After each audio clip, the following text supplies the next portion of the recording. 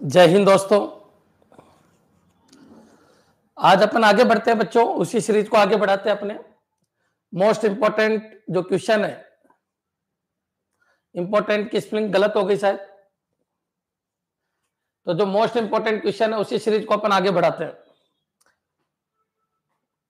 Clear देखिए, अगर आपको ये क्लास अच्छी लग रही है तो आप शेयर कर सकते हो। मैंने वादा किया था, अगर सौ बच्चे लाइव आ जाएँगे। तो मैं सेशन को कंटिन्यू भी चला सकता हूँ एग्ज़ाम तक। लेकिन आपका रेस्पॉन्स कितना मिलता है, उसके ऊपर टिका हुआ। क्लियर चलिए, आगे बढ़ते हैं। आज का क्वेश्चन इंपॉर्टेंट क्वेश्चन है समझना। व्हाट इज़ स्केटर नेट जहाँ पर कल खत्म किया था, वहीं से आगे बढ़ रहे अपन। क्वेश्चन है बच्चों what is scatternet in Bluetooth networking scatternet क्या होता है ब्लूटूथ नेटवर्किंग के अंदर? तो सबसे पहला क्वेश्चन तो आपके दिमाग में आना चाहिए ब्लूटूथ क्या होता है? ब्लूटूथ नेटवर्किंग क्या होती है? पीकोनेट क्या होता है? स्केटर नेट क्या होता है? किस तरीके के इसके अंदर क्वेश्चन बनते हैं? सबसे पहले तो आपके दिमाग में ये आना चाहिए। क्लियर है बच्चों? जब एक क्वेश्चन करते हो तो उससे रिलेटेड पूरा टॉपिक कवर होना चाहिए बच्चों। तब तो आपके नंबर आएँगे। और केवल आप रटके जाते हो तो आपका कोई सिलेक्शन नहीं होगा, चाहे दस हज़ार क्वेश्चन कर जाना कंप्यूटर टीचर में भी ऐसा ही हुआ था। जिन बच्चों ने समझा था, उनकी नौकरी लगी। जिन बच्चों ने केवल एमसीक्यू लगाए थे, वो सब बैठे हैं, घर पे ही बैठे हैं आज भी। तो कॉमन सी बात है बच्चों एमसीक्यू लगाने से नौकरी नहीं लगती है। किसी टॉपिक को समझने से नौकरी लगती है।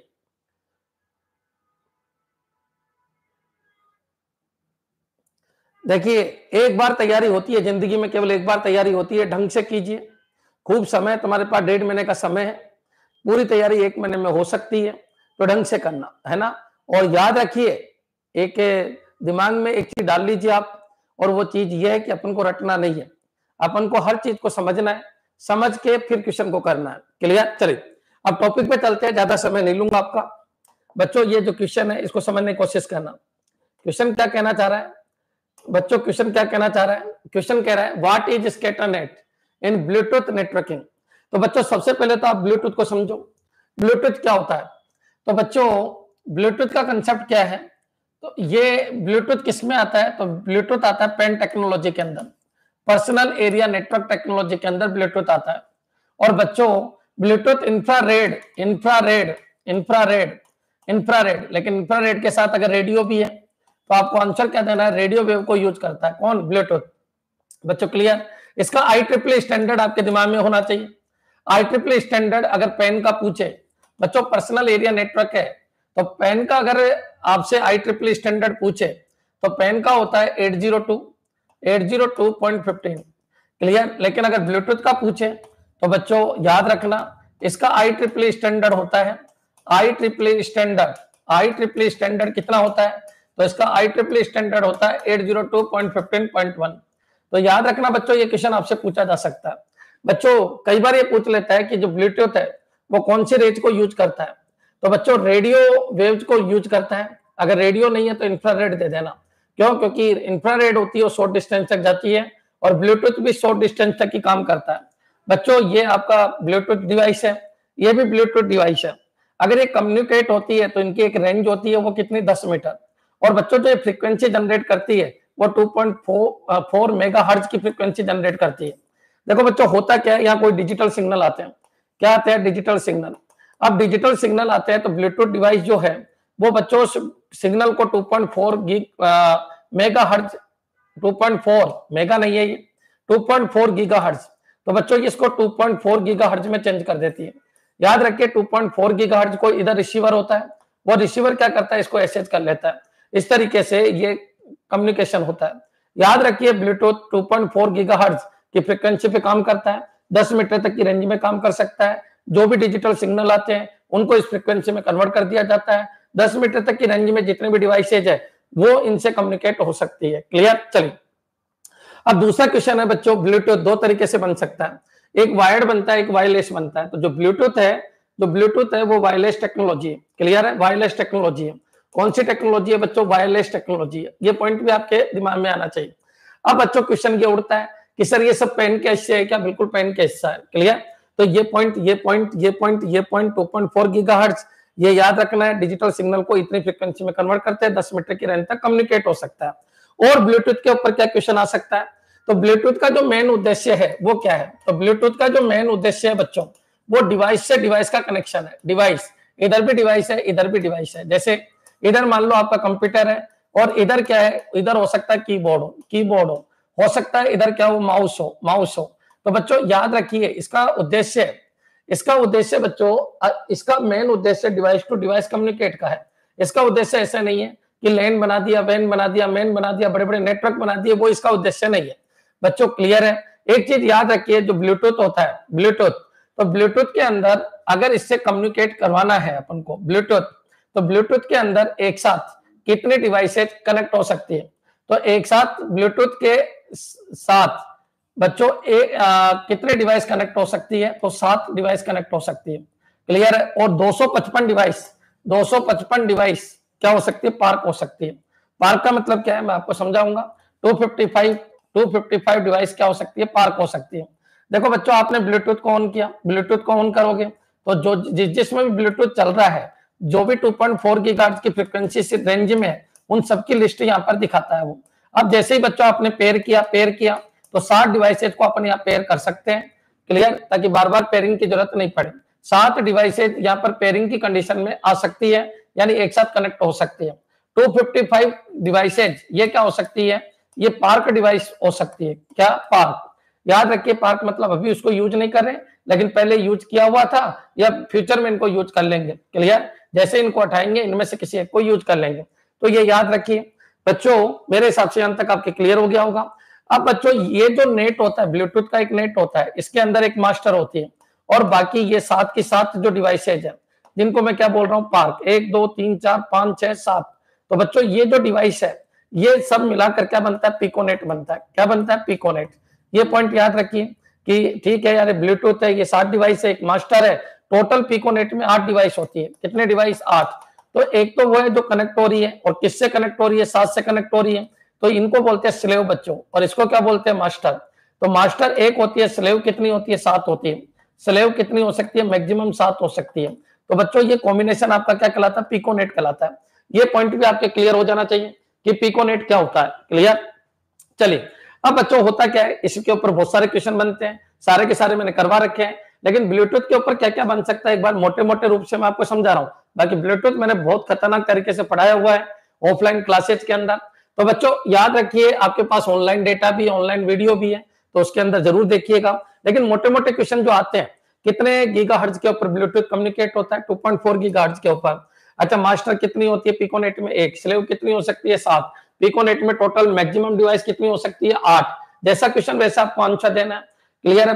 ब्लूटूथ क्या है? तो पेन है। ब्लूटूथ क्या है? पेन इसकी रेंज क्या हो सकती है? टेन मीटर क्लियर कौन सा आई स्टैंडर्ड होता है? Eight zero two point fifteen point one कैसी टेक्नोलॉजी है? वायरलेस टेक्नोलॉजी है। क्लियर याद रखिए बच्चों जो ब्लूटूथ है, वो कौन सी फ्रिक्वेंसी पे काम करता है? रेडियो फ्रिक्वेंसी अगर ये ऑप्शन में नहीं है तो क्या देना? इंफ्रारेड क्लियर ये पॉइंट आपके दिमाग में आ जाना चाहिए। अब बच्चों, अपन थोड़ा सा आगे बढ़ते हैं। बच्चों नेक्स्ट क्वेश्चन है। अगर आपको क्लास अच्छी लग रही है तो आप फैला सकते हो इसको। अब चलिए स्केटर नेट की बात कर लेते हैं। बच्चों, यहाँ से आपका क्वेश्चन आया है ये। जो ये क्वेश्चन है, वो यहीं से आया स्केटर नेट की बात कर लेते हैं। तो skater net group of piconet है। देखिए बच्चों, अगर मैं ये बोलूँ कि ब्लूटूथ ब्लूटूथ क्लियर है? तो ब्लूटूथ से अपना बना क्या? पिकोनेट और पिकोनेट से बना स्केटरनेट तो बच्चों, इसमें मैक्सिमम कितने पिकोनेट आ सकते हैं? तो इसमें मैक्सिमम दस पिकोनेट आ सकते हैं। दस पिकोनेट ये क्वेश्चन आ चुका है। अच्छा एक चीज़ और याद रखिए, एक पिकोनेट ये रहा। क्लियर तो यहाँ पर आपकी मास्टर हो गई। यहाँ पर स्लेव हो गया। Slave number one slave number two slave number three slave number four maximum ही ले लेता हूँ। बच्चों, यहाँ पर स्लेव नंबर क्या हो गया? स्लेव नंबर फाइव यहाँ पर स्लेव नंबर आपका फाइव स्लेव नंबर सिक्स और यहाँ पर स्लेव नंबर सेवन ठीक है बच्चों? लेकिन ये स्लेव है, ये वापस एक पिकोनेट बना लेता है। तो यहाँ पर ये मास्टर हो गया इसके लिए, और यहाँ पर फिर इसी तरीके से हो गया। फिर एक स्लेव होगा बच्चों, वो क्या है? इसके साथ पिकोनेट बना लेगा। इस तरीके से दस पिकोनेट मैक्सिमम दस है। मिनिमम कितने भी मिला सकते हो आप? तो कम से कम एक है तो एक पिकोनेट हो गया। दो होते स्केटरनेट हो गया। मैक्सिमम दस पिकोनेट मिलकर एक स्केटरनेट बन जाता है। तो बच्चों, यहाँ तक आपके क्लियर हो जाना चाहिए स्केटरनेट क्या है? अब अपने क्वेश्चन के ऊपर आइए। तो ब्लूटूथ में मेरे को नहीं लगता कि इससे बार कोई क्वेश्चन आएगा। बाकी क्वेश्चन मैंने खूब करा रखे हैं, उनको एक बार ज़रूर देखना। अब बच्चों, अपना क्वेश्चन है what is scatternet in Bluetooth networking a type of security threat तो बच्चों, ये तो गलत है। सिक्योरिटी थ्रेट थोड़ी है क्लियर है? A network configuration where devices are scattered randomly ठीक है? A network of interconnected piconet ये ज़्यादा सही है। A network of interconnected piconet बहुत सारे पिकोनेट मिलकर एक स्कैटर नेट बनाते हैं तो सी सही है। A Bluetooth device with enhanced scattering features तो स्कैटरिंग फीचर ऐसे कोई चीज़ है नहीं ब्लूटूथ डिवाइस नहीं है। ए नेटवर्क कॉन्फ़िगरेशन यहाँ तक तो ठीक है where device are scattered randomly तो रैंडमली नहीं है बच्चों रैंडमली नहीं है। याद रखिए कि ठीक है यार, ये मास्टर है, अब ये इसका ये स्लेव है, अब ये इसका मास्टर हो जाएगा तो रैंडमली नहीं है। वो सिस्टमेटिक बनाना पड़ता है, ऐसे नहीं है। तो बच्चों, ये नेटवर्क ऑफ़ इंटरकनेक्टेड पिकोनेट तो इसका आंसर क्या हो जाएगा? सी मेरे हिसाब से क्लियर हो गया होगा। एक बार कमेंट कर दो। अगर आपको क्लास अच्छी लग रही है तो लाइक कर सकते हो आप। क्लियर मैक्सिमम दस पिकोनेट वेरी गुड बिल्कुल सही है। याद रखना बच्चों क्वेश्चन आते हैं। स्केटरनेट पिकोनेट ब्लूटूथ ब्लूटूथ का I triple standard Bluetooth technology इनके ऊपर क्वेश्चन आते हैं। क्लियर मैंने एक शर्त रखी है, मैं सात दिन तक, लेकिन अगर सौ बच्चे लाइव आ जाएँगे तो मैं चला दूँगा। मेरे को कोई दिक्कत नहीं है। लेकिन अगर बच्चे कम आएँगे तो फिर मैं जितना मेरी कैपेसिटी है, उतना रिकॉर्ड करके डाल दूँगा। क्लियर तो ये पॉइंट आपके क्लियर हो जाना चाहिए। आंसर क्या हो जाएगा? सी नेक्स्ट आगे बढ़ते हैं बच्चों। इस क्वेश्चन को देखिए सेकंड जो क्वेश्चन है, इसको अच्छी तरीके से समझना। क्या है second question how does blue sniffing differ from blue bugging blue sniffing और ब्लू बगिंग में क्या अंतर है? चलो, मैं आपको एक मिनट दे रहा हूँ। आपके जो भी बड़े बड़े ग्रुप है, उनके अंदर आप डाल सकते हो इस क्लास को। बच्चों में एक क्वेश्चन नहीं कराने आ रहा, बहुत सारे क्वेश्चन एक साथ लेके आ रहा हूँ। लगभग ये मान के चलिए दस से पंद्रह चैप्टर डेली करवा के जा रहा हूँ मैं आपको। क्लियर लगभग ढाई सौ से तीन सौ चैप्टर करा दूँगा मैं आपके एग्ज़ाम तक। तो बच्चों, अगर तुमको वाकई ऐसे पढ़ना है तो आप शेयर कर दो एक बार आपके टेलीग्राम ग्रुप के अंदर। जो भी आपके फेसबुक अकाउंट है, वहाँ पे शेयर कर सकते हो क्लास को। थोड़ा सपोर्ट किया करो। इतने बच्चे लाइक भी किया करो। चलिए, आगे बढ़ते हैं बच्चों क्वेश्चन है। How does blue sniffing differ from blue bugging अब स्निफिंग और ब्लू बगिंग में क्या अंतर है? ये क्वेश्चन कई बार आया है। याद रखिए। ये क्वेश्चन कई बार आया है। ब्लू स्निफिंग क्या होती है? ब्लू बगिंग क्या होती है? तो इसको मैं पूरा ही समझा देता हूँ। इधर देखिए। बच्चों ब्लूटूथ की जो हैकिंग होती है ब्लूटूथ की जो हैकिंग होती है, उसके तरीके हैं। ब्लूटूथ की हैकिंग के तरीके हैं। अब ब्लूटूथ की हैकिंग के कितने तरीके हैं? तो तीन तरीके हैं। एक तो होता है बच्चों ब्लू जैकिंग ब्लू जैकिंग याद रखना ब्लू जैकिंग दूसरा होता है बच्चों blue bugging, blue. Blue jacking, blue sniffing sniffing. और एक होता है बच्चों ब्लू बगिंग ब्लू बगिंग। यहाँ से बच्चों क्वेश्चन आता है, याद रखिए, कंप्यूटर टीचर में भी आया था। कंप्यूटर टीचर में भी ब्लूटूथ आया था, कंप्यूटर टीचर में भी यहाँ से क्वेश्चन आया था। क्लियर? तो इनको समझना आपको अच्छी तरीके से। करे स्टार्ट? तो देखिए तो बच्चों ब्लूटूथ हैकिंग के कितने तरीके हैं? तो ब्लूटूथ हैकिंग के तरीके ब्लू जैकिंग, बच्चों ब्लू स्निफिंग और एक है ब्लू बगिंग ब्लू बगिंग अब ये क्या होता है? तो सुनो। बच्चों ब्लूटूथ में क्या होता है? आप सबको पता है। ब्लूटूथ के अंदर, मान लीजिए एक डिवाइस आपकी ये, एक डिवाइस आपकी ये। क्लियर है? इस डिवाइस को हैक किया जा रहा है तो ब्लू जैकिंग के अंदर क्या होता है? इस डिवाइस के अंदर, इस डिवाइस के अंदर, बच्चों एडवर्टाइजमेंट किया जा सकता है। एडवर्टाइजमेंट इससे ज़्यादा कुछ भी नहीं। एडवर्टाइजमेंट किया जा सकता है। कैसे? बच्चों, यानी कोई फ़ोटो भेज दी, या फिर कोई इंफॉर्मेशन भेज दी या कोई टेक्स्ट मैसेज डाल दिया। इसको हैक नहीं करना बस ये है कि इसमें बिना अनुमति के आप एडवर्टाइजमेंट कर सकते हो फ़ोटो भेज सकते हो कोई इमेज भेज सकते हो बच्चों को टेक्स्ट मैसेज भेज सकते हो ये काम जो होता है वो जैकिंग होता है जैक जैक का मतलब होता है जोड़ना। एक डिवाइस को दूसरी डिवाइस को जोड़कर बच्चों उसके अंदर एडवर्टाइजमेंट करना ही ब्लू जैकिंग है। अब वो चाहे टेक्स्ट से करे चाहे इमेज भेज के करे चाहे बच्चों आ, कोई आ, कोई छोटी मोटी जिप फ़ाइल भेज के करें। लेकिन एक तरीका यह है ब्लू जैकिंग एक तरीके से हैकिंग नहीं है। ये अपना एडवर्टाइजमेंट करने का कंसेप्ट है। हैकिंग तो है लेकिन एडवर्टाइजमेंट करने का कंसेप्ट है ज़्यादा हार्मफुल नहीं है। क्लियर ब्लू स्निफिंग में क्या होता है? ब्लू स्निफिंग में क्या होता है बच्चों? धीरे धीरे धीरे धीरे। बच्चों यहाँ से इसकी गैलरी में से डेटा उठा लिया जाता है। कभी फ़ोटो उठा ली कभी पासवर्ड उठा लिए कभी यूज़र आईडी उठा ली कभी बच्चों कुछ और उठा लिया। तो इस तरीके से इसको बोलते हैं ईवा ड्रॉप्स ईवा ड्रॉप्स का मतलब बच्चों, याद रखिए, जो आँखों की बूंदे होती है, आँसू की बूंदे होती है, उसकी तरह, इनको एक एक बूंदों को समेट लिया जाता है और यहाँ पर लेकर आपके इसके कंटेंट को यूज़ करके उसको बच्चों मिसयूज किया जा सकता है। मिसयूज किया जा सकता है, इसका मतलब ये हैकिंग तो है, लेकिन बच्चों टुकड़े टुकड़े टुकड़े, टुकड़ों में हैकिंग है। गैलरी से फ़ोटो उठाना अच्छा ये तो गैलरी में फ़ोटो नहीं उठा रहा था, ये तो केवल क्या कर रहा था, ये तो केवल मार्केटिंग कर रहा था, ये तो केवल इमेज भेज रहा था टेक्स्ट भेज रहा था जैकिंग में तो कोई नुकसान नहीं हो रहा था। इससे ज़्यादा पावरफुल ब्लू स्निपिंग है। ब्लू स्निपिंग स्निपिंग में क्या होगा? गैलरी में पहुँच जाएगा वहाँ से कभी इमेज उठा ली कभी कोई छोटा मोटा वीडियो उठा लिया कभी यूज़र आईडी पासवर्ड या आपने कुछ सेव कर रखा है तो उनको देख लेगा। इसको बोलते हैं बच्चों आ, याद रखिए एक साथ कुछ नहीं करता ये। इवर ड्रॉप्स का मतलब होता है बूंदे बूंदे बूंदे बूंदे। अब बूंद बूंद से गड़ा बढ़ता है बच्चों वही कंसेप्ट आया ब्लू स्निपिंग क्लियर है? और नेक्स्ट चलिए ब्लू बगिंग इसमें बच्चों हंड्रेड परसेंट इसको अपने कंट्रोल में ले लिया जाता है। किसको? डिवाइस को। इस डिवाइस को, ये डिवाइस जो हैकर की डिवाइस है, वो इस डिवाइस को क्या करती है? अपने अंडर ले लेती है हंड्रेड परसेंट। तो बच्चों, इससे कॉल मिलाना हो जाएगा। कॉल मिला सकते हो ब्लू बगिंग में क्या होता है? कि किसी डिवाइस को ब्लूटूथ के थ्रू हैक करके उससे कॉल लगा सकते हो आप। बच्चों तो ताकि इसका कोई रेफरेंस नहीं जाए कॉल का रेफरेंस यहीं से जाए। तो कॉमन सी बात है, हंड्रेड परसेंट हैक कर लेना, हंड्रेड परसेंट हैक कर लेना। बच्चों, पूरा का पूरा एग्जिस्टेंस ही इसका हो जाना, ये क्या कहलाता है? ब्लू बगिंग मेरे हिसाब से पॉइंट क्लियर हो जाना चाहिए। जैकिंग थोड़ा वीक होता है स्निपिंग और पावरफुल होता है बगिंग और बहुत पावरफुल होता है। तो ब्लू बगिंग का मतलब होता है हंड्रेड परसेंट कर लेना। अच्छा ब्लू स्निपिंग का मतलब है ईवा ड्रॉप्स का कलेक्शन करना ईवा ड्रॉप्स का कलेक्शन करना कलेक्शन करना। और इसका मतलब क्या है बच्चों? एडवर्टाइजमेंट के लिए काम करना एडवर्टाइजमेंट के लिए। क्लियर है बच्चों? चलिए, मेरे हिसाब से ब्लूटूथ की हैकिंग के तीन तरीके तीनों मैंने आपको समझा दिया। क्लियर चलिए छुप कर देखना, बिल्कुल छुप कर देखना, आ रहा है समझ में ठीक है।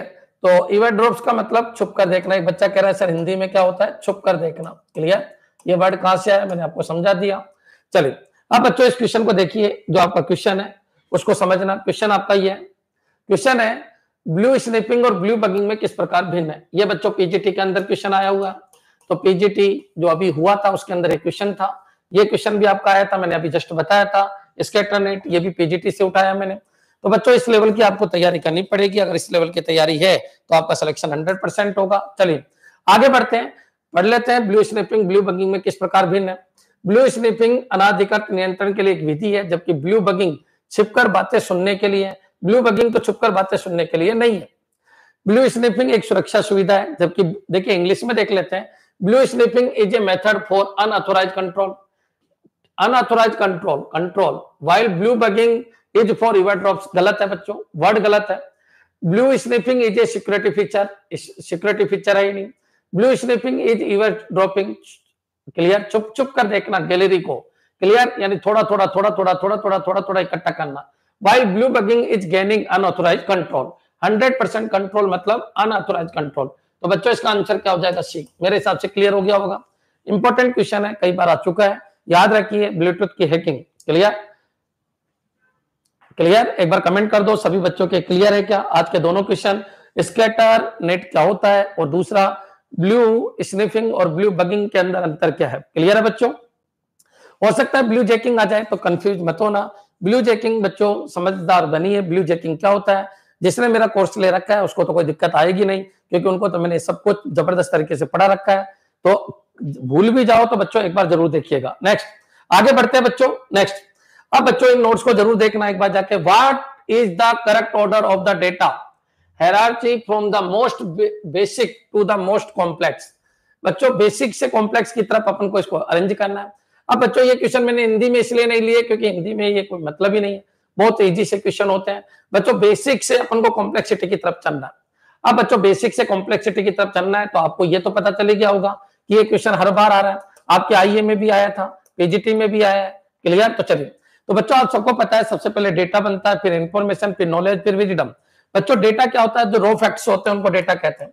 रो फैक्ट्स को क्या कहते हैं? डेटा अब बच्चों रो फैक्ट्स का मीनिंगफुल जो डेटा होता है meaningful data meaningful data meaningful data meaningful data उसको क्या कहते हैं अपन? इंफॉर्मेशन क्लियर डेटा को यूज़ करना, जो इंफॉर्मेशन है, उसको यूज़ करना नॉलेज होता है।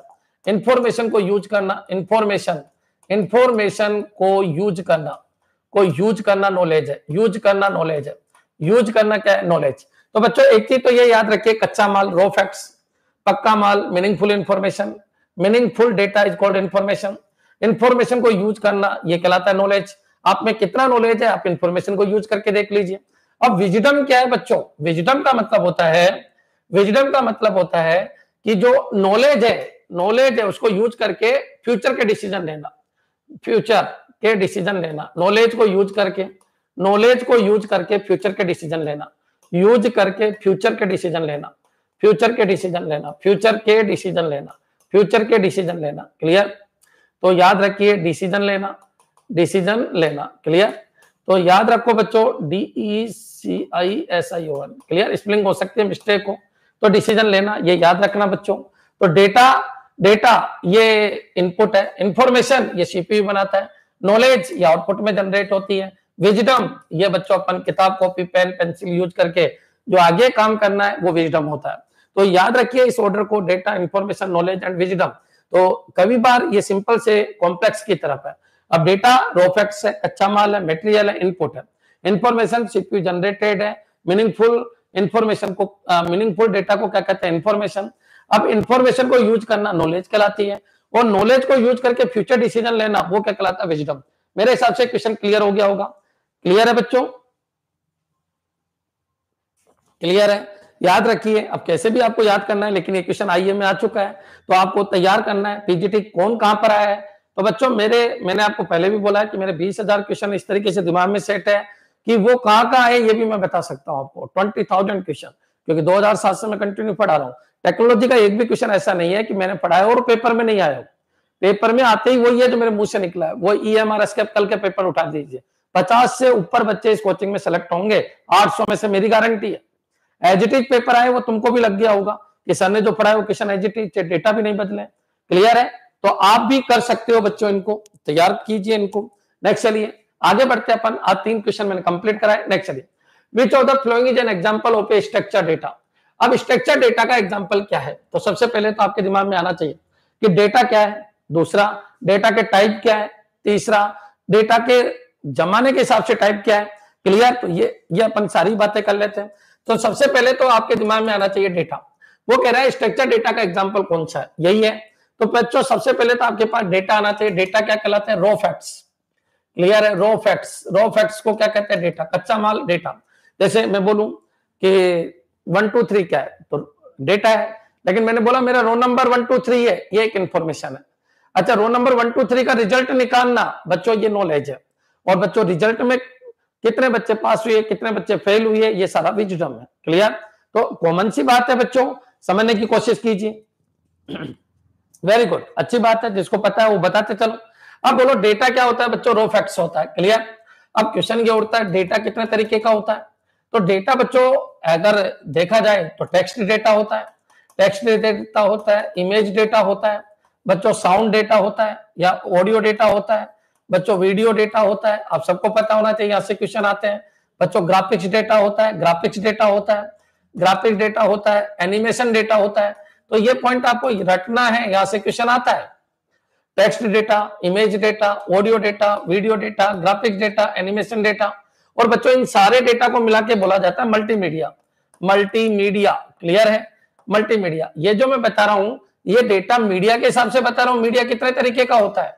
तो मीडिया के हिसाब से डेटा इतने तरीके का होता है। बच्चों, एक डेटा को मैं और बांटता हूँ। पहले इनको भी समझ लेते हैं। एक डेटा को मैं और बांटता हूँ अरेंज के हिसाब से।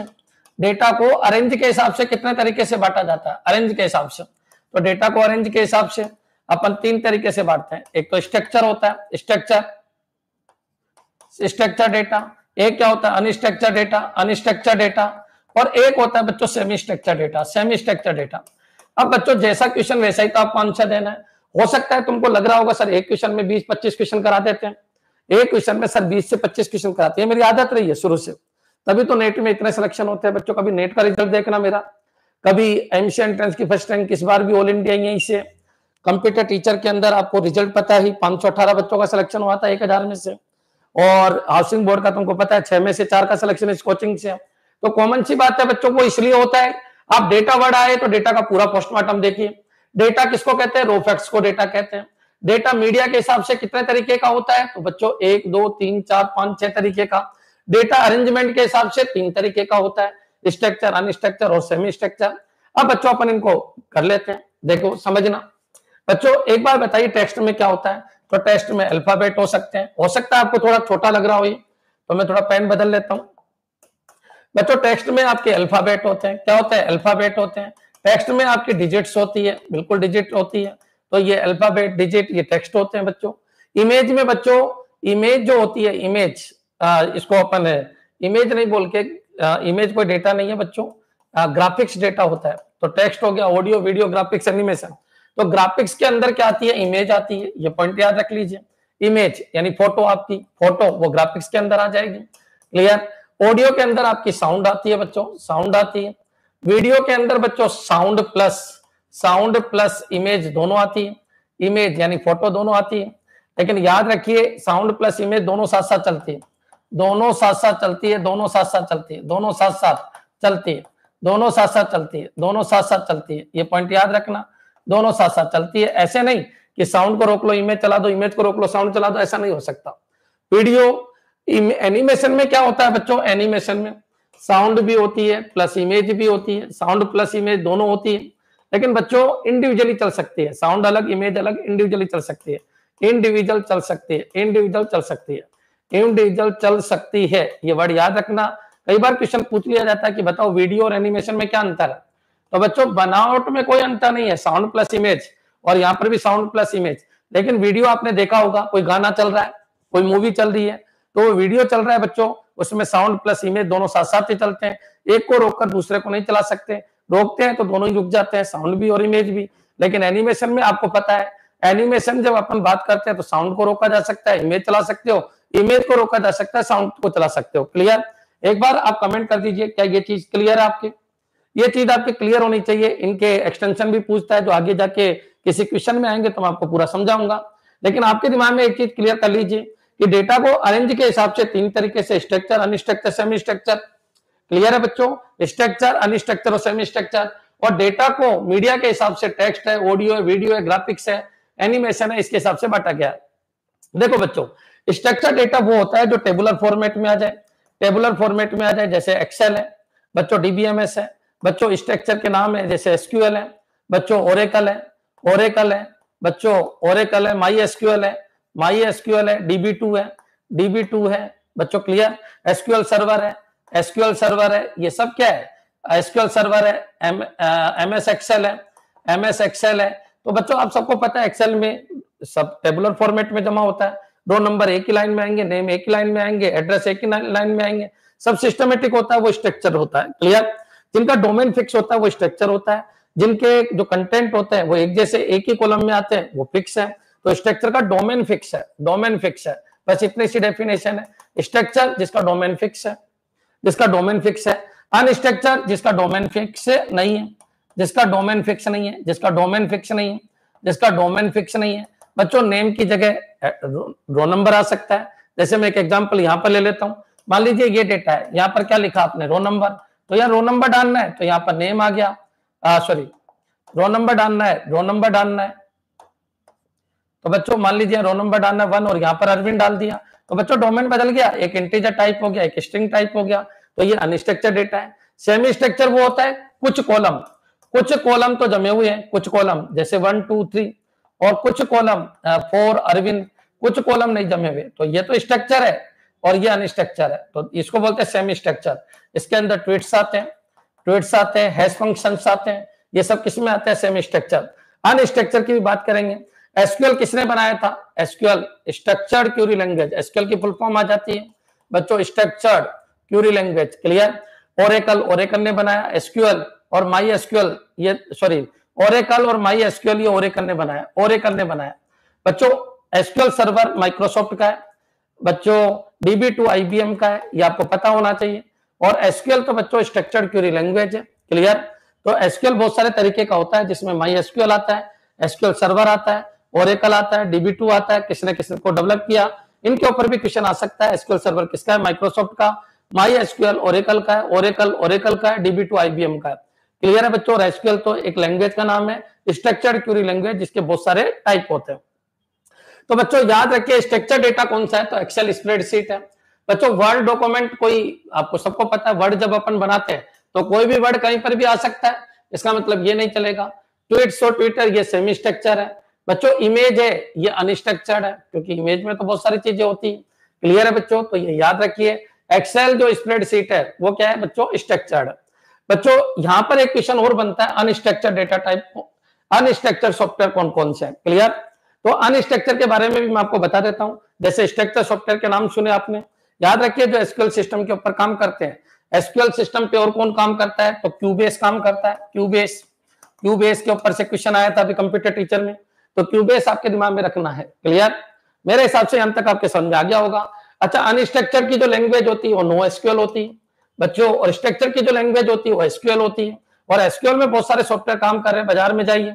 ओरेकल का सॉफ्टवेयर, माई एसक्यूएल का software, DB two, SQL server Cubase, ये सब क्या है? ये एसक्यूएल सॉफ्टवेयर है। नो एसक्यूएल सॉफ्टवेयर जो अनस्ट्रक्चर डेटाबेस के ऊपर काम करते हैं या बिग डेटा के ऊपर काम करते हैं। क्या? बिग डेटा तो जो बिग डेटा के ऊपर काम करते हैं, वो नो एसक्यूएल सॉफ्टवेयर है, जो स्मॉल डेटा के ऊपर काम करते हैं। स्मॉल डेटा वो स्ट्रक्चर्ड सॉफ्टवेयर है, जो ट्वीट्स के ऊपर हैश फ़ंक्शन के ऊपर काम करते हैं। वो सेमी स्ट्रक्चर है। तो बच्चों चलते चलते अपन एक चीज़ और देख लेते हैं कि अगर अपन बात करें अनस्ट्रक्चर की किसकी बात कर लेते हैं अनस्ट्रक्चर अनस्ट्रक्चर की बात करें अनस्ट्रक्चर तो अनस्ट्रक्चर डेटाबेस में कौन कौन आते हैं? तो अनस्ट्रक्चर डेटाबेस आपके दिमाग में आ जाना चाहिए कि जो टेबल होते हैं, उनके कॉलम के अंदर ये फिक्स नहीं है कि ये पर्टिकुलर डोमेन ही आएगा।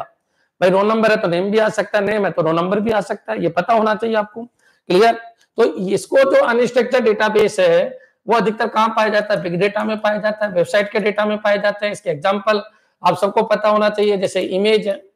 इमेज है, बच्चों वेबसाइट है वेबसाइट है वेबसाइट है वेबसाइट है, बच्चों, कोई आर्टिकल है क्लियर तो आर्टिकल और ये जितने भी है आर्टिकल है वेबसाइट है आर्टिकल है, कोई आर्टिकल लिख रहा है ऑनलाइन आर्टिकल तो वो सब क्या है? अनस्ट्रक्चर्ड है। अब बच्चों, इसके लिए जो मेंटेन करने के लिए जो सॉफ्टवेयर चाहिए, उनके बहुत सारे नाम है। जैसे एच बेस होता है, बच्चों मोंगो डीबी होता है मोंगो डीबी होता है कंप्यूटर टीचर में भी क्वेश्चन आया था H base Mongo DB Cassandra Cassandra क्या है? फेसबुक का है, ध्यान रखना। बच्चों फेसबुक के ऊपर जो डेटा को अरेंज करता है डेटा को अपडेट करता है मॉडिफाई करता है, बच्चों, जो फेसबुक के ऊपर जितना डेटा जा रहा है, उनको मैनेजमेंट करने का काम कैसेंड्रा का है। क्लियर है? कैसेंड्रा रेडिक्स है। कौन है? रेडिक्स है। तो बच्चों, ऐसे बहुत सारे होते हैं। एचबीएस है मोंगोडीबी है कैसेंड्रा है रेडिक्स है। क्लियर तो ये आपके दिमाग में रखना है। और भी बहुत सारे होते हैं। मैंने बहुत सारों के नाम लिखवा रखे हैं। एक बार उनको ज़रूर देखिएगा। कोच डीबी भी इसी में आता है। कौन सा कोच डीबी? बिल्कुल। Couch DB, clear? Couch DB. मैंने स्पेलिंग गलत कर दिया ना। C O U C H Couch DB, clear? और कोई हो तो बताइए। Mongo DB, Cassandra, Couch DB, Redis very good clear? पाँच सास क्या होता है? माइकल बताया था, पाँच सास क्या होता है? क्लाउड के टाइप होते हैं, पाँच सास, क्लियर? क्लाउड की जो सर्विसेज़ होती है, वो तीन तरीके की होती है। सास, पास और आस अगर मान लो कहीं सॉफ्टवेयर डाउनलोड कर रहे हो, कोई मूवी देख रहे हो सॉफ्टवेयर डाउनलोड करके वो सास है सॉफ्टवेयर है जो सर्विस ये क्लाउड देखिए क्लाउड कई बार मैंने आपको पढ़ा है, कई बार क्लाउड के क्वेश्चन भी आए उसी समय मैंने आपको बताया भी मोस्टली बिग डेटा अनस्ट्रक्चर्ड होता है वेरी गुड बिल्कुल सही है। तो बच्चों, इतना याद रखिए क्लाउड के बारे में कोई क्वेश्चन आए तो इतना याद रखना। क्लाउड बिना इंटरनेट के यूज़ नहीं आता। क्लाउड क्यों बनाया गया? रिसोर्सेज को यूज़ करने के लिए बनाया गया ताकि सस्ता पड़ सके। हो सकता है मेरे मेमोरी बहुत लिमिटेड है, मेरे को मेमोरी चाहिए तो मैं क्लाउड से ले लूँगा। लेकिन क्लाउड पे पहुँचने के लिए आपको इंटरनेट चाहिए।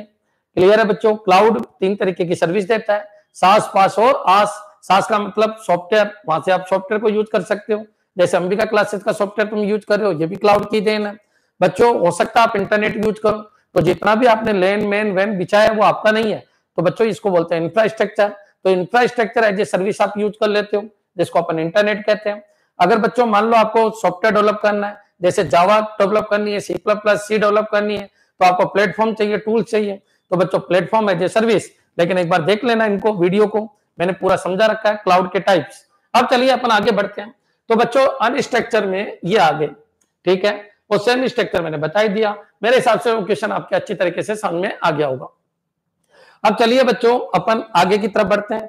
और एक बार programmer use PaaS IaaS by networking administrator SaaS by customer और यूज़ वेरी गुड अभी ये किसने बताया? अभी श्री अभी श्री ने बताया कि सर प्रोग्रामर पास यूज़ करते बिल्कुल भाई, उनको प्लेटफॉर्म चाहिए।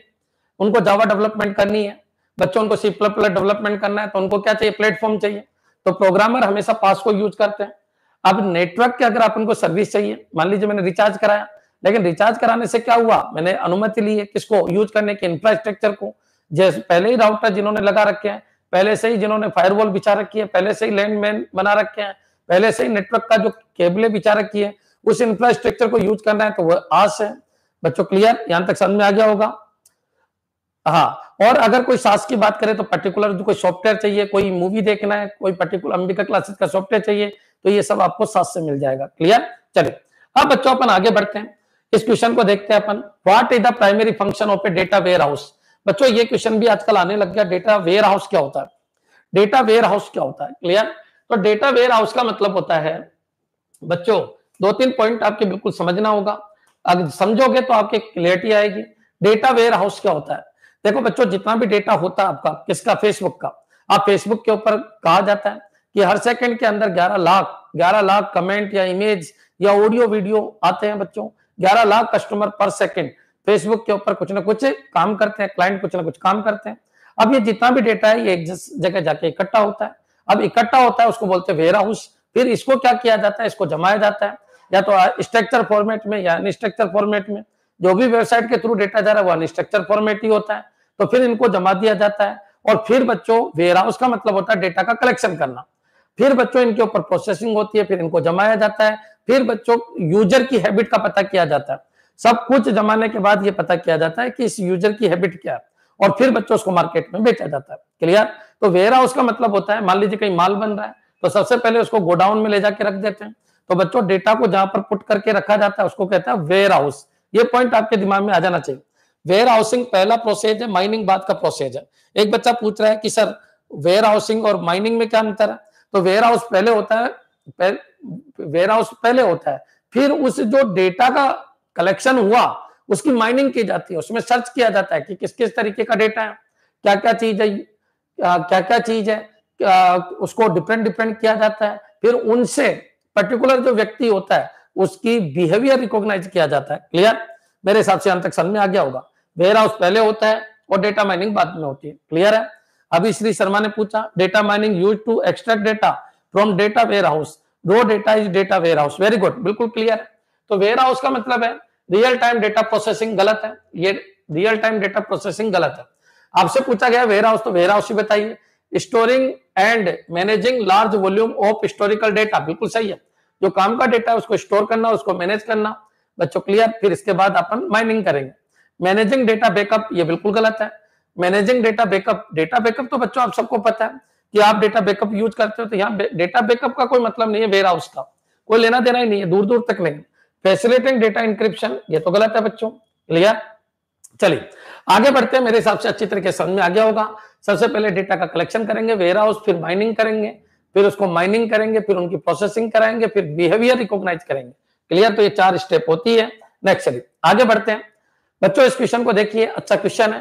टाइप्स ऑफ़ फायरवॉल और corresponding layer types of firewall और करस्पॉन्डिंग लेयर ये क्वेश्चन आपके कंप्यूटर टीचर में आया था। बच्चों मेरे वीडियो अगर के कोई किसी ने कंप्यूटर टीचर वाले देखे होंगे तो उसको लगा होगा सर के पढ़ाए हुए में से एक भी क्वेश्चन आज तक बाहर नहीं आया। हमारा देख लो, कल का पेपर हुआ है, उसको देख लीजिए। पचास सिलेक्शन होंगे। आठ सौ सीट है पूरे इंडिया की। मैं गारंटी देता हूँ पचास से उनचास नहीं होगा। पचास से ऊपर ही सिलेक्शन होंगे इस कोचिंग से। जिनकी भी मास्टर डिग्री थी, जिन्होंने भी हमारा दिया था, सबका सिलेक्शन होगा। क्योंकि क्वेश्चन की क्वालिटी देखने से आपको पता चल जाएगा कि यार क्वेश्चन वाकई ऐसे ही आते हैं, जैसे सर करा रहा है। रेम रोम के गए जमाने, बच्चों वो 2020 से पहले आते थे। तीन साल हो गए रेम रोम को आए हुए। समझदार बनिए इशारा काफ़ी है। इशारा काफ़ी है। क्लियर चलिए, आगे बढ़ते हैं बच्चों।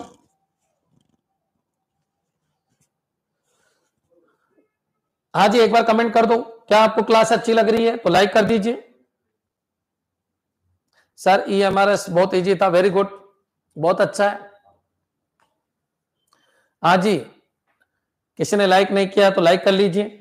अगर किसी ने चैनल को सब्सक्राइब नहीं किया तो वो भी कर लीजिए।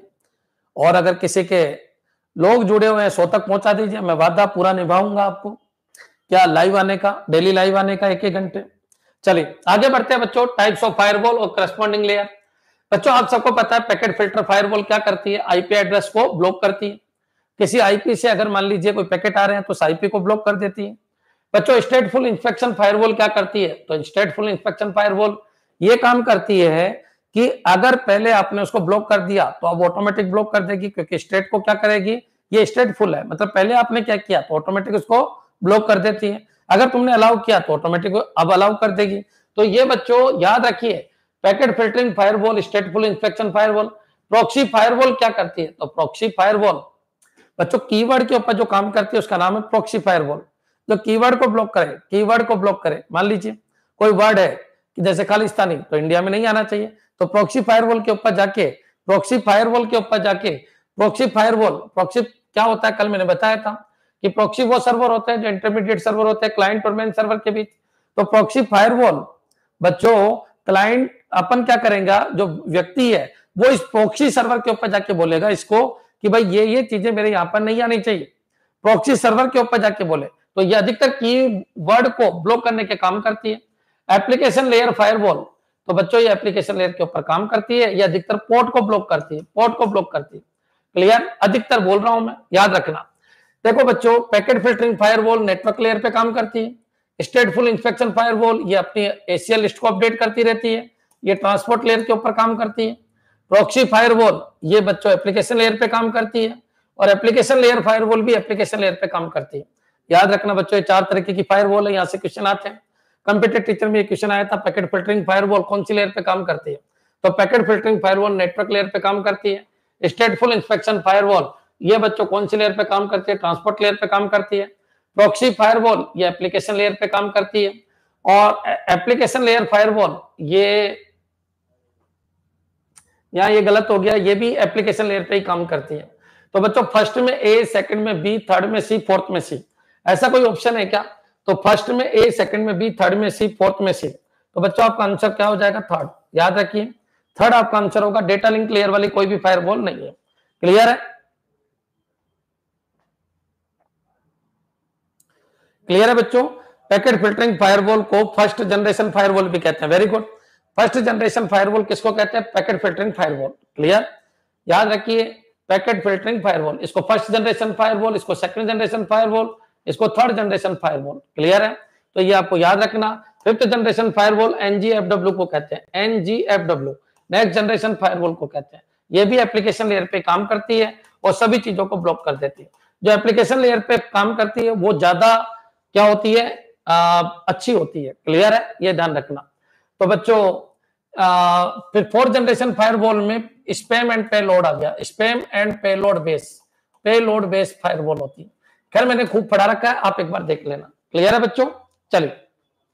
स्टेटफुल को डायनेमिक भी कहते हैं क्या? बिल्कुल स्टेटफुल को डायनेमिक भी कहते हैं। क्यों? क्योंकि इसकी एसीएल लिस्ट है, वो ऑटोमेटिक अपडेट होती है। और इसकी एसीएल लिस्ट को अपडेट करना पड़ता है, करना पड़ता है। और इसकी ऑटोमेटिक अपडेट होती है। और प्रॉक्सी फायरवॉल बच्चों प्रॉक्सी सर्वर पे जाके ये बोलेंगे अपन कि ये ये चीज़ नहीं आनी चाहिए, ये कंप्यूटर में होती है कंप्यूटर में होती है। अपने राउटर अपने राउटर अपने राउटर में होती है, ये प्रॉक्सी सर्वर पे होती है। एप्लीकेशन लेयर फायरवॉल पोर्ट को ब्लॉक करती है। प्रॉक्सी फायरवॉल अधिकतर कीवर्ड के ऊपर काम करती है। Stateful inspection firewall dynamic ACL list बनाती है। और बच्चों, ये क्या करती है? तो ये आईपी को ब्लॉक करती है। क्लियर ये नेटवर्क लेयर पे करती है ट्रांसपोर्ट लेयर पे करती है एप्लीकेशन लेयर पे करती है, ये एप्लीकेशन लेयर के ऊपर करती है। क्या क्लियर है बच्चों? मेरे को नहीं लगता कि फायरवॉल पे कोई दिक्कत आएगी। फायरवॉल मैंने खूब पढ़ा रखा है, अच्छी तरीके से देखना। क्लियर है बच्चों? ठीक है। स्टेटफुल फायरवॉल ट्रांसपोर्ट लेयर पर वर्क करती है। इसे सेकंड जनरेशन फायरवॉल भी कहते हैं। बिल्कुल सही है प्रिंस कुमावत। बिल्कुल सही है। फ़र्स्ट जनरेशन में पैकेट फ़िल्टर फायरवॉल आएगा। सेकंड जनरेशन में स्टेटफुल फायरवॉल आएगा। बच्चों स्टेटफुल फायरवॉल इससे ज़्यादा अच्छी है क्योंकि डायनेमिक एसीएल लिस्ट को अपडेट करती है। Proxy firewall proxy server firewall बच्चों और ज़्यादा अच्छी है। क्यों? क्योंकि प्रोक्सी सर्वर पे ही ब्लॉक कर देगी। क्योंकि आपके कंप्यूटर तक आने ही नहीं देगी। क्लियर और एप्लीकेशन लेयर फायरवॉल और ज़्यादा अच्छी है क्योंकि उस पोर्ट को ही ब्लॉक कर देगी, जहाँ से जो चीज़ की वजह से कोई फालतू चीज़ें आ रही है। जैसे मान लो आपको मेन नहीं आने देना। तो मेल को ही ब्लॉक कर देगा। कौन? एप्लीकेशन लेयर फायरवॉल तो एप्लीकेशन और प्रॉक्सी फायरवॉल दोनों एप्लीकेशन लेयर पे काम करती है। ये दोनों ये नेटवर्क लेयर पे ट्रांसपोर्ट लेयर के ऊपर काम करती है। क्लियर है बच्चों? डेटा लिंक लेयर पे कोई फायरवॉल काम नहीं करती। चलिए काफ़ी हो गया इसके ऊपर। चलिए। आगे बढ़ते हैं बच्चों, इस क्वेश्चन को देखिए। What is a key advantage of offline messaging offline messaging अब क्वेश्चन ये है ऑफलाइन मैसेजिंग क्या होता है? ऑनलाइन मैसेजिंग क्या होता है? सबसे पहले तो मैंने आपको समझा रखा है ऑफलाइन मैसेजिंग और ऑनलाइन मैसेजिंग क्या होता है। देखो बच्चों ब्लूटूथ के थ्रू अगर मैं किसी को मैसेज कर रहा हूँ तो वो ऑफलाइन मैसेजिंग है, क्योंकि उसमें इंटरनेट की कोई ज़रूरत नहीं पड़ी। जहाँ पर इंटरनेट की ज़रूरत पड़ती है तो ऑनलाइन मैसेजिंग है, और जहाँ पर इंटरनेट की ज़रूरत नहीं है, वो ऑफलाइन मैसेजिंग है। सबसे पहला कंसेप्ट तो ये है। क्लियर हाँ जी। अभी तो सबसे पहले मेरे को ये बताइए कि आपके सारे कंसेप्ट क्लियर है क्या? एक बार कमेंट ठोक दो कि हाँ सर, मज़ा आ गया। पढ़ने में मज़ा ही इस क्लास में आता है या इस कोचिंग में आता है। दीवाने हैं बच्चों, बच्चे दीवाने हैं। लेकिन मैं आपको एक वर्ड बोल रहा हूँ, क्या? आपको ये पढ़ा हुआ होना चाहिए एक बार, थोड़ा बहुत पढ़ा हुआ होना चाहिए। थोड़ा बहुत पढ़ा हुआ होना चाहिए एक बार एक बार मेरे स्टूडेंट बन के देखना पड़ेगा आपको। नौकरी चाहिए तो बच्चों, सब कुछ छोड़ दो, अंबिका क्लासेस की शरण में आ जाओ। क्योंकि मैथ रीजनिंग कंप्यूटर तीनों चीज़ मैं ही पढ़ाता हूँ। हंड्रेड परसेंट नौकरी लगेगी आपकी। हाँ जी। और हो सके तो शेयर कर दीजिए।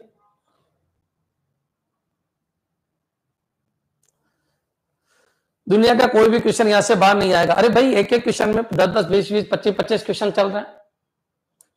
ये हमारा छोड़ दिया सर मैंने, जितेंद्र शर्मा। अरे very good very good very good sir सबकी मैराथन कब आएगी? मैं ही कराता हूँ, मैं ही ले आऊँगा। इसी में मैथ भी मैं कराऊँगा रीजनिंग भी मैं कराऊँगा। चलती जाएगी बच्चों बीच बीच में। सर वॉल्यूम में टेपर आ रहा है मेरी आवाज़ ही ऐसी है, मैं क्या करूँ? मेरी आवाज़ ही ऐसी है, क्या करे? कोई इलाज ही नहीं। चलिए बच्चों स्टार्ट करते हैं। What is a key advantage of offline ये जो टॉपिक वाइज है, इसका मतलब ये है कि इन बच्चों को कुछ भी नहीं आता। अरे, अब तक तो तैयारी हो जानी चाहिए। टॉपिक वाइज नहीं। हर टॉपिक को मिक्स करके पढ़ो, वहाँ कोई टॉपिक वाइज पेपर थोड़ी आएगा। पेपर ऐसे ही बनता है। ये मेरे पेपर ही है बच्चों, जो मैं सोल्व करा रहा हूँ। अब एक एक पेपर में मैंने सारे टॉपिक कवर किए तो अब इनको करो। अब टॉपिक वाइज का जमाना जा चुका क्लियर तो चलिए। What is a key advantage of offline messaging तो मैसेजिंग दो तरीके की होती है, एक ऑनलाइन मैसेजिंग एक ऑफलाइन मैसेजिंग अब ऑफलाइन मैसेजिंग वो होती है बच्चों जिसमें इंटरनेट की ज़रूरत नहीं ऑनलाइन मैसेजिंग वो होती है जिसमें इंटरनेट की ज़रूरत है। बच्चों, मैं आपको व्हाट्सएप से मैसेज कर रहा हूँ ऑनलाइन मैसेजिंग फेसबुक से मैसेज कर रहा हूँ, बच्चों ऑनलाइन मैसेजिंग बच्चों, याद रखिए, यहाँ पर जो मैसेज हो रहे हैं, यहाँ पर जो मैसेज हो रहे हैं, वो किससे हो रहे हैं? वो इंटरनेट के थ्रू हो रहे हैं। क्योंकि व्हाट्सएप भी एक इंटरनेट है और फेसबुक भी एक इंटरनेट है। जहाँ पर क्लाइंट सर्वर का सिस्टम वो इंटरनेट है। लेकिन एक मैं लेन बना के मैसेज कर रहा हूँ। लेन बना के मतलब लोकल एरिया नेटवर्क बच्चों, जहाँ इंटरनेट की कोई ज़रूरत नहीं है। बच्चों, एक लेन बना दी मैंने। एक मेन बना दिया मैंने। इंटरनेट इंटरनेट है। बाकी मैं यहीं पर क्लास में बैठे बैठे दस लोगों को पढ़ा रहा हूँ और उनको मैसेज कर रहा हूँ। ये ऑफलाइन मैसेजिंग है। यहाँ इंटरनेट की कोई ज़रूरत नहीं है। क्लियर है? ये पॉइंट समझ में आना चाहिए। बच्चों सिम के थ्रू मैसेजिंग इंटरनेट बंद है तो भी सिम के थ्रू मैसेजिंग आ जाएगी। क्योंकि सिम अपने आप में एक लेन है बच्चों। सिम अपने आप में एक लेन है। लेन है या मेन बोल दो। वैन तो नहीं है वैन का मतलब तो इंटरनेट होता है तो वैन तो नहीं है। तो कॉमन सी बात है बच्चों, कोई लेन के अंदर मैसेजिंग कोई वैन के अंदर मैसेजिंग किसी डिपार्टमेंट के आपस में जुड़े कंप्यूटर के अंदर मैसेजिंग तो वहाँ पर आपको इंटरनेट की ज़रूरत नहीं है। वह मैसेजिंग के बहुत सारे फीचर होते हैं, उनके द्वारा जो मैसेजिंग होती है, वो ऑफलाइन मैसेजिंग होती है। क्लियर है? तो एक तो होती है ऑनलाइन और एक होती है ऑफलाइन सर मैंने तो भाई, अब तुम्हारे ऊपर है, बाकी उनके सिलेक्शन देख लेना एक बार। फेंकने में माहिर है, कोई इलाज नहीं है। बाकी सिलेक्शन तुमको पता है।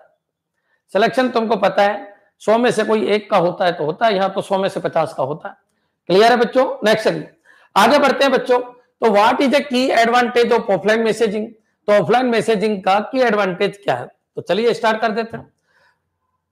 देखो बच्चों फास्टर रेस्पॉन्स टाइम ये किसका है? ऑनलाइन मैसेजिंग का फीचर है। ऑफ़ ऑनलाइन मैसेजिंग का फीचर है रेस्पॉन्स टाइम बहुत फास्ट है clear no need for internet connectivity ये किसमें होता है बच्चों? ये ऑफलाइन में होता है। ऑफलाइन में इंटरनेट कनेक्टिविटी की ज़रूरत नहीं है।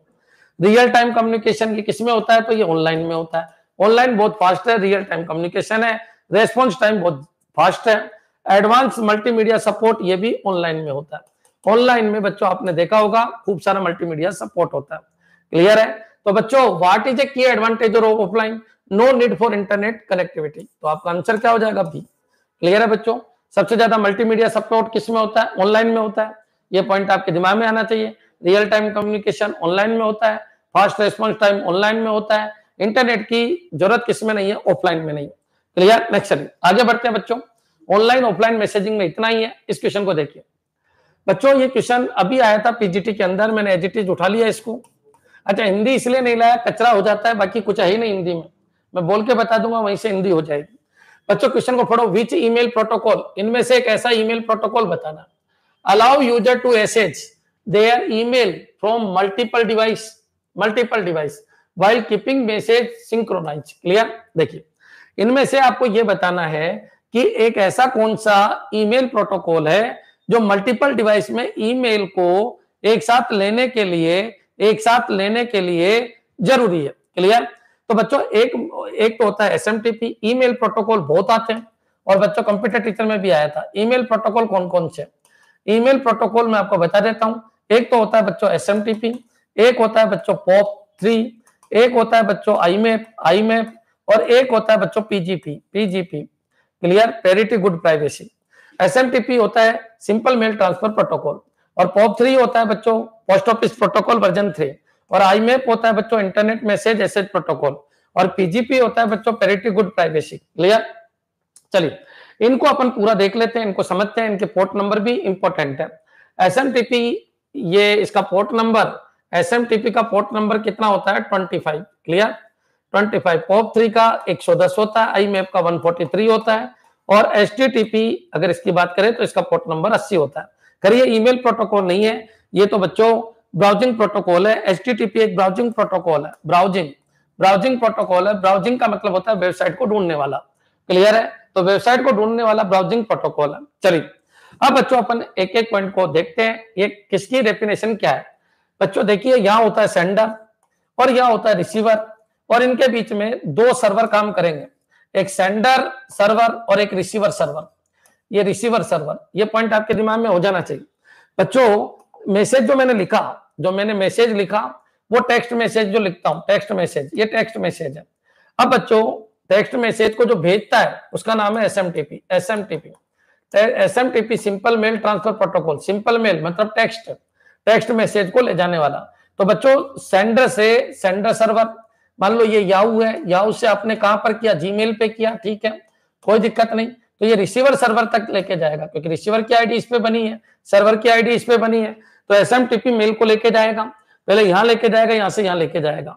तो बच्चों एसएमटीपी का यूज़ है टेक्स्ट मैसेज को सेंडर से लगाकर रिसीवर सर्वर तक पहुँचाने वाला एस है। ये कौन सा प्रोटोकॉल है? पुश प्रोटोकॉल है। अच्छा कौन से पोर्ट से डेटा निकलेगा? तो बच्चों कंप्यूटर में पोर्ट होते हैं, आप सबको पता है। तो पोर्ट नंबर 25 से डेटा निकलेगा। और बच्चों, ये रिसीवर सर्वर तक पहुँचा देगा।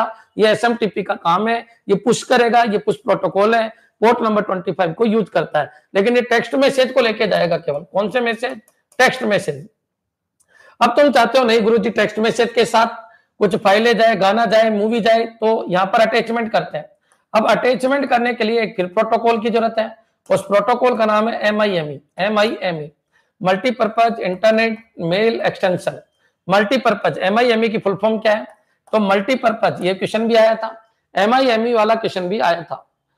एम आई एम ई वाला क्वेश्चन भी आया था। तो एम आई एम ई की फुल फॉर्म है multipurpose multipurpose internet mail extension internet internet mail extension mail extension mail extension extension clear multipurpose internet mail extension बच्चों, ये भी इसी पोर्ट को यूज़ करता है। इसका कोई स्पेसिफिक पोर्ट नहीं होता।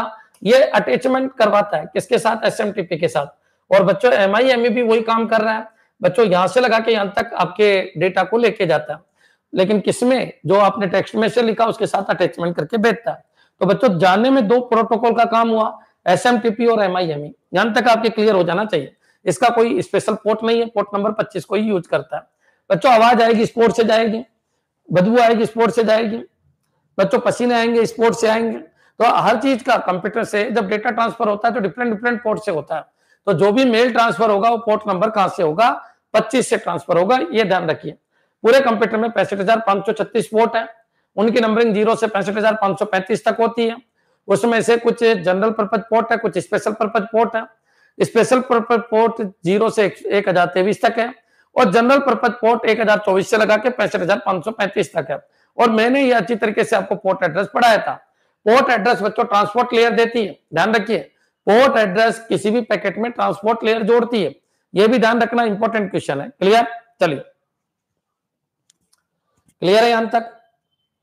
वेरी गुड बिल्कुल M I M E extension for multimedia अरे very good M I M E का पोर्ट नंबर नहीं है। Very good S M TP अरे वेरी गुड क्लियर ये टीसीपी कनेक्शन बनाता है SMTP very good very good अब चलिए आगे बढ़ते अपन।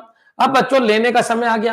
तो बच्चों, जो लिया जाता है रिसीवर सर्वर से रिसीवर सर्वर से बंदा लेगा।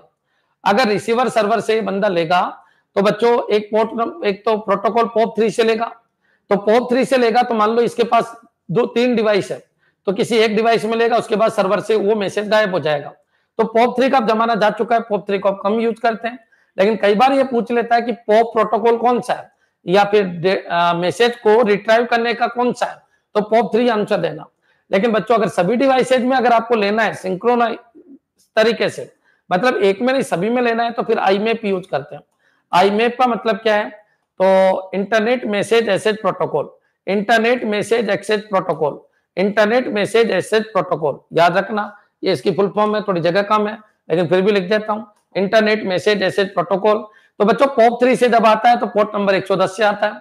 और बच्चों, अगर आई में से के थ्रू आई में प्रोटोकॉल को यूज़ कर रहे हो तो पोर्ट नंबर 143 से आप क्या लेते हो? ईमेल लेते हो सर्वर से क्लाइंट के अंदर। क्लियर? तो सर्वर से रिसीवर के अंदर।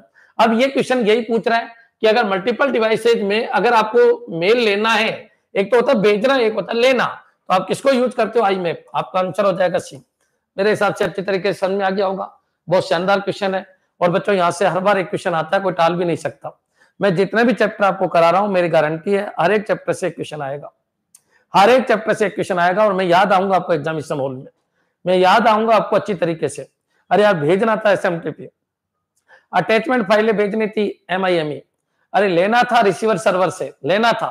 तो पॉप थ्री और बच्चों, लेना था सभी डिवाइसेज में लेना है आई मैप मतलब सर्वर के ऊपर जो होल्ड रखता है, वो आई मैप है।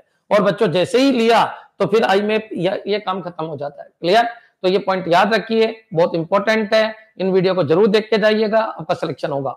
हंड्रेड परसेंट होगा। क्लियर चलिए, ये आइए computer teacher NET GATE SET जो भी आपको देना दीजिए, इनसे बाहर कोई क्वेश्चन नहीं जाता। याद रखना, मैं लोएस्ट पढ़ाता है नहीं वो हाईएस्ट लेवल का पढ़ा देता हूँ। आपकी मर्ज़ी है, वो दीजिएगा। ठीक है? नेक्स्ट अब बच्चों, यहाँ तक आपके समझ में आ गया होगा। मेरे हिसाब से क्लियर हो गया होगा, इसकी फुल फॉर्म क्या है? और आई की फुल फॉर्म क्या है? तो इंटरनेट मैसेज ऐसे प्रोटोकॉल, ये पॉप प्रोटोकॉल है, पॉप पॉप, ये क्या है? Push push protocol M I M attachment protocol है। Port number 25 port number 110 port number 143 कहाँ से लेते हैं? रिसीवर सर्वर से रिसीवर। कहाँ पहुंचाते हैं? सर्वर से रिसीवर सर्वर तक। क्लियर तो याद रखिए, हर चीज़ का एक कंसेप्ट है। बच्चों, एक और होता है ईमेल के अंदर पीजीपी पेरिटी गुड प्राइवेसी ये एक सिक्योरिटी प्रोटोकॉल है, ईमेल सिक्योरिटी प्रोटोकॉल है। ईमेल सिक्योरिटी प्रोटोकॉल है। बच्चों ईमेल जब यहाँ से यहाँ तक जाती है तो उसको सिक्योरिटी कौन प्रोवाइड करता है? पीजीपी। ईमेल सिक्योरिटी प्रोटोकॉल है। सिक्योरिटी प्रोटोकॉल है। सिक्योरिटी प्रोटोकॉल है। प्रोटोकॉल है याद रखिए पी का मतलब होता है pretty pretty good privacy. Good privacy. Clear है? अच्छी प्राइवेसी देने वाला। बस इतना याद रख लेना। बच्चों ये पूरा कंसेप्ट है। चलिए आगे बढ़ते हैं। आगे बढ़ते हैं बच्चों इस क्वेश्चन को देखिए। अब ये अलग जगह से क्वेश्चन आ गया लेकिन ये भी आया हुआ है। ये क्वेश्चन भी कई बार आ, आ चुका है। बच्चों ईमेल सिक्योरिटी प्रोटोकॉल पीजीपी अरे वेरी गुड कुछ बच्चों की तो ज़बरदस्त तैयारी है। और कुछ बच्चे आज भी यही कह रहे हैं कि टॉपिक वाइज ले लीजिए। अरे टॉपिक वाइज नहीं लेना, ये पेपर है बच्चों। अंबिका क्लासेज में होने वाले पेपर है। संडे के जो पेपर है, वो पेपर है ये। और मैं इनको सबको सोली करवा रहा हूँ। तो बच्चों टॉपिक वाइज नहीं पढ़िए, क्योंकि अब समय नहीं है तुम्हारे पास। डेढ़ महीने का समय है। तैयारी कर ली होगी। नहीं की है तो इन क्लासेज को ज़रूर देख के जाइएगा। क्लियर चलिए। अब बच्चों क्वेश्चन है कॉलम वन अंबिका वालों की तैयारी ज़बरदस्त होती है, ये आपको मानना पड़ेगा बच्चों। सबके आंसर आ रहे हैं, मैं जानता हूँ एक दो बच्चों के। तो आ रहे हैं सबके आंसर। अब बच्चों डिजिटल असिस्टेंट डिजिटल असिस्टेंट इधर है, इधर उनकी कंपनीज़ है। सबसे पहला क्वेश्चन तो ये उठा डिजिटल असिस्टेंट क्या है? तो बच्चों, एक चीज़ मैं आपको बता देता हूँ, पहले पीए होते थे। मान लीजिए कोई एमएलए है तो एमएलए का पीए होता था। एमएलए साहब को कहाँ जाना है, कब जाना है, किसको बर्थडे विश करना है बच्चों कौन कौन से ट्यूर है कौन कौन सी मीटिंग है सबकी इंफॉर्मेशन वो पीए रखता था। आजकल बच्चों पीए का स्थान पीडीए ने ले लिया। पर्सनल डिजिटल असिस्टेंट आ गए। पर्सनल डिजिटल असिस्टेंट क्या है कि फ़िज़िकल पीए नहीं है ये क्या है?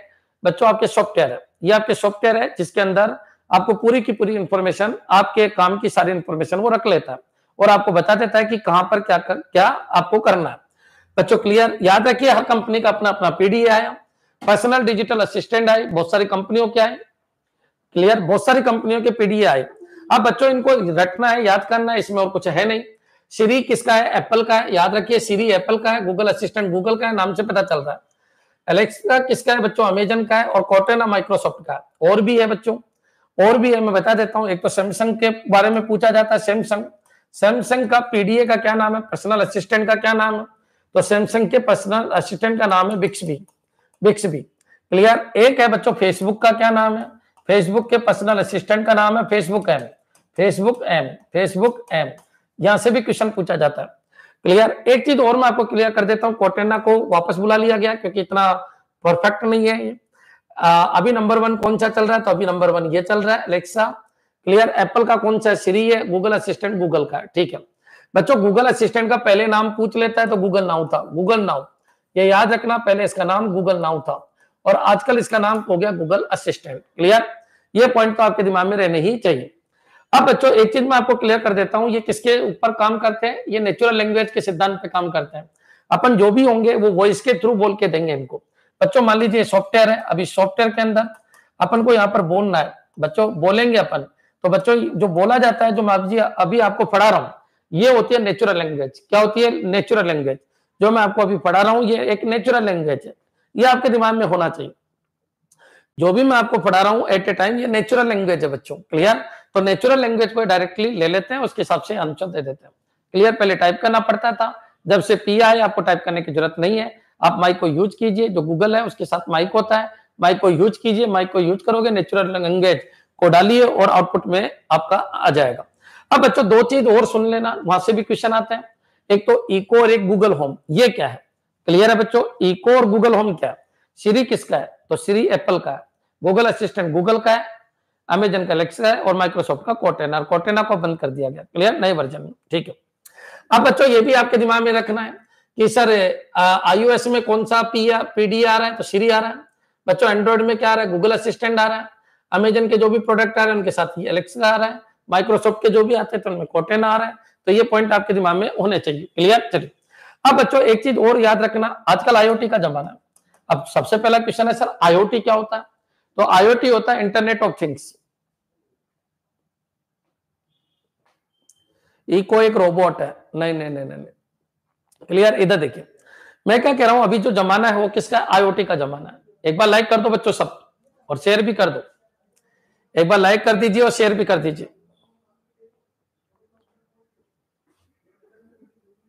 हाँ ये क्लास रोज चलती है बच्चों, शाम को साढ़े पाँच। एक दो मिनट ऊपर नीचे हो सकती है, बाकी साढ़े पाँच। ठीक है। बच्चों देखिए आईओटी का जमाना है। आईओटी क्या है? तो एक ही वर्ड में मैं बोल देता हूँ इंटरनेट ऑफ़ थिंग्स इसका मतलब थिंग्स यानी जो वस्तु है, उनको इंटरनेट से जोड़ना। बच्चों, होता क्या है, जितने भी अपने कमरे के अंदर, अभी अपने पास तो आईओटी का इतना संसाधन नहीं है, लेकिन बड़ी बड़ी होटल है, या बड़े बड़े जो, लोगों के जो मकान है, वो सब आईओटी बेस हो चुके हैं। उनके बच्चों गेट है, पंखे है, लाइटें हैं एसी है फ्रिज है, जो भी उनके इक्विपमेंट्स होते हैं घर के, या घर की जो डिवाइसेज है, या जो थिंग्स है, वस्तुएँ हैं, उनको उन लोगों ने क्या किया? 5G इंटरनेट से जोड़ दिया। 5G इंटरनेट के थ्रू उन्होंने क्या किया? एक डिवाइस बनाई, बच्चों डिवाइस का नाम है इको इको एक डिवाइस है बच्चों, जो आईओटी को परफॉर्म करती है। Echo Echo Google Home clear Google Home तो ये याद रखिए, ये डिवाइस है। अब ये डिवाइस क्या है आपके घर में रखी होती है? इससे बहुत सारी डिवाइस जुड़ी हुई होती है। बच्चों, इसको अपन कुछ कमांड देते हैं। इस कमांड के थ्रू ये और काम करवाती है, और वस्तुओं से काम कराती है। तो आईओटी को एक तरीके से अप्लाई करने के लिए अपने पास कुछ असिस्टेंट आए। ये असिस्टेंट है, इसी को अपन क्या कहते हैं इको इको किसका असिस्टेंट है? तो बच्चों, याद रखिए कौन सी कंपनी का है ये? तो ये अमेजन का है। किसका है? अमेजन का। अमेजन का। और बच्चों, इसमें जो सॉफ्टवेयर यूज़ करते हैं वो कौन सा यूज़ करते हैं? एलेक्सा क्लियर एलेक्सा क्लियर ये याद रखिए गूगल होम में गूगल असिस्टेंट को यूज़ करते हैं। ये भी एक डिवाइस है। तो ये दोनों क्या है? डिवाइस है। डिवाइस है बच्चों, जो इंटरनेट ऑफ़ आईओटी डिवाइसेस से जुड़ी हुई रहती है। तो बच्चों, याद रखना इको और गूगल होम तो as a format of device है और ये as a format of software है। ये ये जो चारों के चारों है, ये as a format of software है और बच्चों, ये सॉफ्टवेयर इन डिवाइसेज में भी काम करते हैं। क्लियर है? याद रखिए, मेरे हिसाब से पीडीए में आपको कोई दिक्कत नहीं आएगी। पीडीए पर्सनल डिजिटल असिस्टेंट कौन कौन से आए कौन कौन सी कंपनी के हैं कौन कौन सी डिवाइसेज के फॉर्मेट में और कौन कौन सी डिवाइसेज सॉरी केवल सॉफ्टवेयर के फॉर्मेट में और कौन सी तरीके की लैंग्वेज के ऊपर ये काम करते हैं। फिर आगे कोई क्वेश्चन आएगा तो अपन आर्मीचर क्या होता है हेड क्या होता है, ये सब आगे की बातें देख लेंगे कोई क्वेश्चन आएगा तब आगे बढ़ते हैं। बच्चों, इस क्वेश्चन को देखिए। Column first column second schema related from respective use clear इस क्वेश्चन को अपन देखते हैं। ये क्वेश्चन भी बच्चों नेट गेट में कई बार आ चुका है। एक बार इसके ऊपर।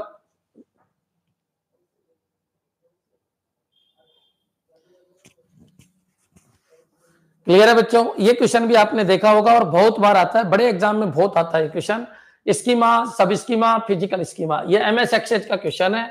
एम एस एक्सेज बोल दो, यहाँ पे डीबीएमएस बोल दीजिए। डीबीएमएस का क्वेश्चन है। तो वहाँ से अपन ने इस क्वेश्चन को उठाया। स्कीमा, सब स्कीमा, फ़िज़िकल स्कीमा क्या होता है? तो देखिए बच्चों, स्कीमा वर्ड आते ही आपके दिमाग में आ जाना चाहिए। स्कीमा क्या होता है? सब स्कीमा क्या होता है? और फ़िज़िकल स्कीमा क्या होता है?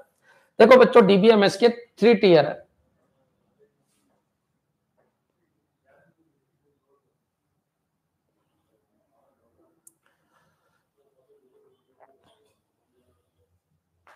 क्लियर करते हैं स्टार्ट चलिए। कुछ बच्चे कुछ पूछ रहे हैं। इको इको क्या है? तो इको एक डिवाइस है बच्चों जो आर्टिफिशियल इंटेलिजेंस से भरा हुआ है। और याद रखिए आईओटी आर्टिफिशियल इंटेलिजेंस बोलो या मत बोलो। आईओटी डिवाइसेज को कनेक्ट करने के लिए इको एक डिवाइस है। और बच्चों उसके अंदर जो अमेजन है, उसने अपना सॉफ्टवेयर डाल रखा है, जो नेचुरल लैंग्वेज पे काम करता है, जिसका नाम है अलेक्सा क्लियर चलिए। कर दे स्टार्ट चलिए। अपना क्वेश्चन है बच्चों स्कीमा सब स्कीमा और फ़िज़िकल स्कीमा क्या होता है और ये व्यू कौन कौन से होते हैं? जब मैंने आपको डीबीएमएस पढ़ाया था बच्चों तो याद रखना डीबीएमएस की ग्यारह घंटे की क्लास मैंने यूट्यूब पे भी डाली है। उसको देख लोगे तो भी आपका एक बार काम हो जाएगा। तो उसको ज़रूर देखिएगा क्योंकि डीबीएमएस की ग्यारह घंटे की क्लास में से कंप्यूटर टीचर में पंद्रह क्वेश्चन आए थे। कंप्यूटर टीचर में पंद्रह क्वेश्चन एजिटीज आए थे, आपको लग भी जाएगा, वाकई यही आए थे, हमने पता नहीं क्यों नहीं पढ़ा था। क्लियर चलिए स्टार्ट करते हैं। और है कितने घंटे की? चालीस। लेकिन मैंने ग्यारह घंटे की आपको फ्री में डाल रखी है, एक बार देख लेना। बच्चों, यहाँ पर आइए। डीबीएमएस के तीन व्यू होते हैं। एक तो बच्चों, ये नीचे वाला व्यू होता है, इसको बोलते हैं फ़िज़िकल व्यू फ़िज़िकल व्यू या इंटरनल व्यू पहले मैं नाम से बता देता हूँ, ये इंटरनल व्यू है। इंटरनल व्यू इंटरनल व्यू इसको बच्चों मिडिल व्यू मिडिल व्यू बोलते हैं। मिडिल व्यू और इसको बोलते हैं external view external external external यहाँ पर बच्चों यूज़र होता है। यूज़र होता है। यहाँ पर बच्चों एडमिन एडमिनिस्ट्रेटर होता है। एडमिनिस्ट्रेटर यहाँ पर एडमिनिस्ट्रेटर होता है। यहाँ पर बच्चों मेमोरी होती है। मेमोरी होती है। क्लियर है? यहाँ पर बच्चों क्या होगा तो सुनिए। देखो बच्चों, आपको यह समझना होगा कि यहाँ यूज़र होता है। कौन होता है? यूज़र यहाँ पर आपका माइक एम होता है और यहाँ पर क्या होता है? डीबी होता है। क्लियर तो डेटा मेमोरी के अंदर ये सॉफ्टवेयर जमाता है, जिसको अपन एमएस कहते हैं। ये बच्चों, आपका एसक्यूएल हो सकता है माई एसक्यूएल हो सकता है डीबी टू हो सकता है। क्लियर है? इसके अलावा एसक्यूएल सर्वर हो सकता है। बहुत सारे तरीके का एसक्यूएल सॉफ्टवेयर होता है। ये एक तरीके से सॉफ्टवेयर होता है। बच्चों इसको कंसेप्चुअल व्यू कहते हैं कौन सा व्यू कंसेप्चुअल इसको कंसेप्चुअल व्यू कहते हैं कंसेप्चुअल व्यू कहते हैं क्लियर कंसेप्चुअल व्यू कहते हैं इसको लॉजिकल व्यू कहते हैं कौन सा व्यू लॉजिकल व्यू कहते हैं क्लियर इसको एक्सटर्नल व्यू कहते हैं या फिर यूज़र व्यू कहते हैं क्लियर है और इसको लॉजिकल ये इसको फ़िज़िकल व्यू कहते हैं इसको फ़िज़िकल व्यू कहते हैं कौन सा व्यू कहते हैं फ़िज़िकल क्लियर अब बच्चों देखिए जो ओरिजिनल टेबल होती है वो यहाँ बनती है यहाँ कोई टेबल नहीं होती है, मैं आपको क्लियर कर देता हूँ, यहाँ कोई टेबल नहीं होती है, यहाँ जो डेटा होता है, वो एरे या लिंक लिस्ट के रूप में होता है। या मेमोरी में जैसे एरे जमता है one zero one zero one zero के फॉर्मेट में होता है। सॉरी तो यहाँ पर जो डेटा है, वो एक्चुअल डेटा स्टोर होता है एक्चुअल डेटा स्टोर होता है एक्चुअल डेटा स्टोर होता है। बच्चों क्लियर अब मान लीजिए, अंबिका क्लासेज का जो डेटा है, वो स्टोर रहता है मेमोरी में। मेमोरी को कहते हैं फ़िज़िकल व्यू या इंटरनल व्यू या फिर ये हार्डवेयर होते हैं एक तरीके से, या एक्चुअल डेटा स्टोर होता है। अब बच्चों, अंबिका क्लासेज का जो सॉफ्टवेयर है, उसके अंदर ये स्कीमा है। स्कीमा मतलब जो अंबिका क्लासेज का सॉफ्टवेयर है, उसमें बहुत सारे ऑप्शन है। मान लीजिए पचास ऑप्शन है। कितने ऑप्शन है? पचास। तो बच्चों, ये पूरा का पूरा स्कीमा कहलाता है। स्कीमा स्कीमा कहलाता है। स्कीमा अब बच्चों, पचास में से आपको जितने दिखते हैं, ये यूज़र व्यू है। किसी को तीन दिखते हैं, किसी को चार दिखते हैं। अलग अलग कोर्स वालों को अलग अलग चीज़ें दिखती है। तो बच्चों ये इस, इस जो स्कीमा है स्कीमा लॉजिकल व्यू होता है। और बच्चों इनको कहते हैं सब स्कीमा सब स्कीमा स्कीमा सब स्कीमा जो सब स्कीमा है ये सब स्कीमा सब स्कीमा सब स्कीमा ये भी सब स्कीमा सब स्कीमा सब स्कीमा कितना भी सब स्कीमा हो सकता है जो आपको दिखते हैं बनती पूरी टेबल है। बच्चों ये डेटा स्टोर है ये पूरा का पूरा सॉफ्टवेयर बनता है।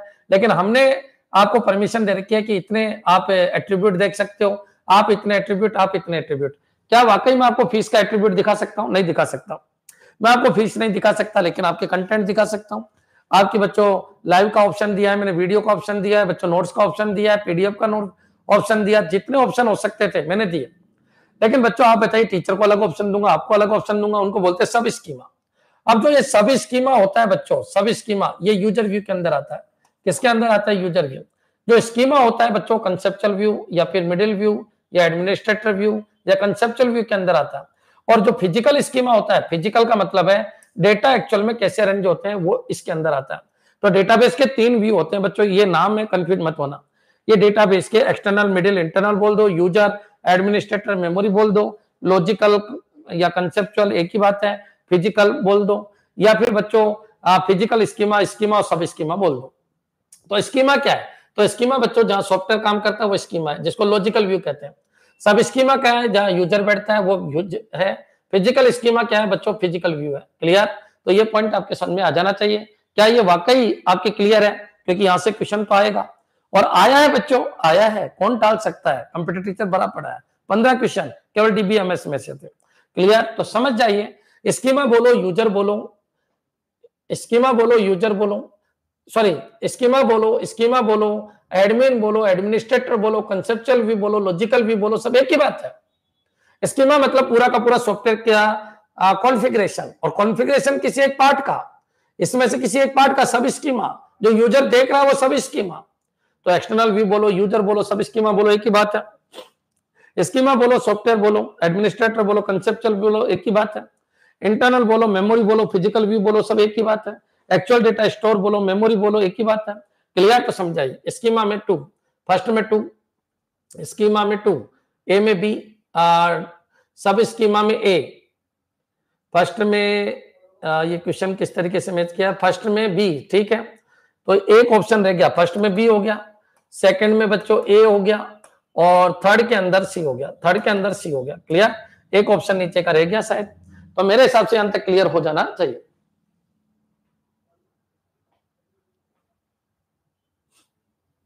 क्लियर है बच्चों? चलिए, एक बार कमेंट कर दो बच्चों, क्या ये समझ में आ गया? डीबीएमएस का व्यू एमएस एक्सेट के अंदर क्वेश्चन बार बार आता है। कौन कौन से तीन व्यू जो होते हैं, इनके ऊपर क्वेश्चन आ जाता है बच्चों। तुम आज भी शॉर्टकट कीज ही पढ़ के जाते हो। आजकल शॉर्टकट कीज का जमाना ही नहीं। कंप्यूटर टीचर में कितनी शॉर्टकट की जाती बताइए? मेरे को नहीं लगता एक भी शॉर्टकट की आई हो। एक भी क्वेश्चन आया हो शॉर्टकट की का। मेरे को नहीं लगता कि शॉर्टकट की का एक भी क्वेश्चन आया हो। आ ही नहीं सकता बच्चों, जमाना बदल चुका है। तुम कोई आरएससीआईटी का एग्ज़ाम देने थोड़ी जा रहे हो। तुम टेक्निकल पोस्ट का एग्ज़ाम देने जा रहे हो, उसकी हिसाब से तैयारी करनी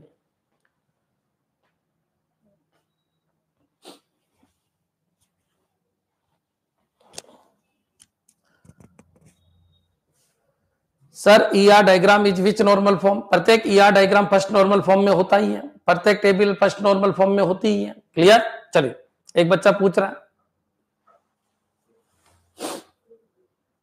आप मेरे को बता सकते हो कितनी शॉर्टकट की जाई थी कंप्यूटर टीचर में। लोगों ने शॉर्टकट की पढ़ाई बीस बीस वीडियो में। कितनी आई थी बताइए? बताइए कितनी शॉर्टकट की जाई थी। ये आए थे बच्चों जो मैं पढ़ा रहा हूँ। ये आए थे। ध्यान रखिए, नेट में भी यही भरे पड़े थे। क्लियर यही सब भरे पड़े हैं। इन्हीं को तैयार कीजिए। नेक्स्ट आगे बढ़ते हैं बच्चों। क्वेश्चन है। बच्चों, ये क्वेश्चन भी आया था कंप्यूटर टीचर में। देखिए आप। ये क्वेश्चन भी आया था। और तुमने रिट भी लगाई थी इस क्वेश्चन पे। क्लियर? तो समझदार बनिए। अब इसको पूरा अपन एक्सप्लेन करते हैं, समझने की कोशिश करना। बच्चों, एक तरफ़ एसक्यूएल कमांड दे रखी है, एक तरफ़ एसक्यूएल कैटेगरी दे रखी है। बच्चों, आप सबको पता है एमएस एक्सेज आपके कोर्स में और एमएस एक्सेज में से तीन क्वेश्चन आते हैं। क्लियर है? तो बच्चों, ये एक तरफ़ create table select commit grant और एक तरफ़ data definition language data manipulation language ये सब कुछ लिखा हुआ है मैच करना। देखो बच्चों, मैं आपको पूरा ही समझा देता हूँ। इधर देखिए एसक्यूएल की जो लैंग्वेज होती है वो कितने तरीके की होती है? एसक्यूएल लैंग्वेज जो होती है, एसक्यूएल लैंग्वेज वो होती है चार तरीके की। कौन कौन सी लैंग्वेज होती है? डीडीएल लैंग्वेज होती है। एक कौन सी लैंग्वेज होती है? डीएमएल लैंग्वेज होती है। एक कौन सी लैंग्वेज होती है? डीसीएल लैंग्वेज होती है। और एक कौन सी लैंग्वेज होती है? बच्चों टीसीएल लैंग्वेज होती है। क्लियर तो बच्चों डीडीएल डीएमएल डीसीएल और टीसीएल इनके बिना आज तक कोई पेपर ऐसा नहीं है जो इनके बिना कंप्लीट हो गया हो। आते हैं, भयंकर तरीके से आते हैं। कंप्यूटर टीचर में दो क्वेश्चन थे, केवल लैंग्वेज लैंग्वेज से। डीबीएमएस की लैंग्वेज लैंग्वेज से। क्लियर हाँ जी तुमको मंजूर है, ये थे या नहीं थे? हाँ जी बताइए थे या नहीं थे? और बच्चों, ये भी आए थे कि बताओ, ये शॉर्टकट की क्या काम करेगी इसकी? सॉरी ये कमांड क्या काम करेगी? तो याद रखिए डीडीएल कमांड स्कीमा बनाने के काम में आती है। स्कीमा स्कीमा जो ढांचा बनाती है, ये लीजिए ढांचा ढांचा बच्चों, ये एसक्यूएल की है तो एसक्यूएल में सबको पता है structure query language structure query language इसकी फुल फॉर्म है।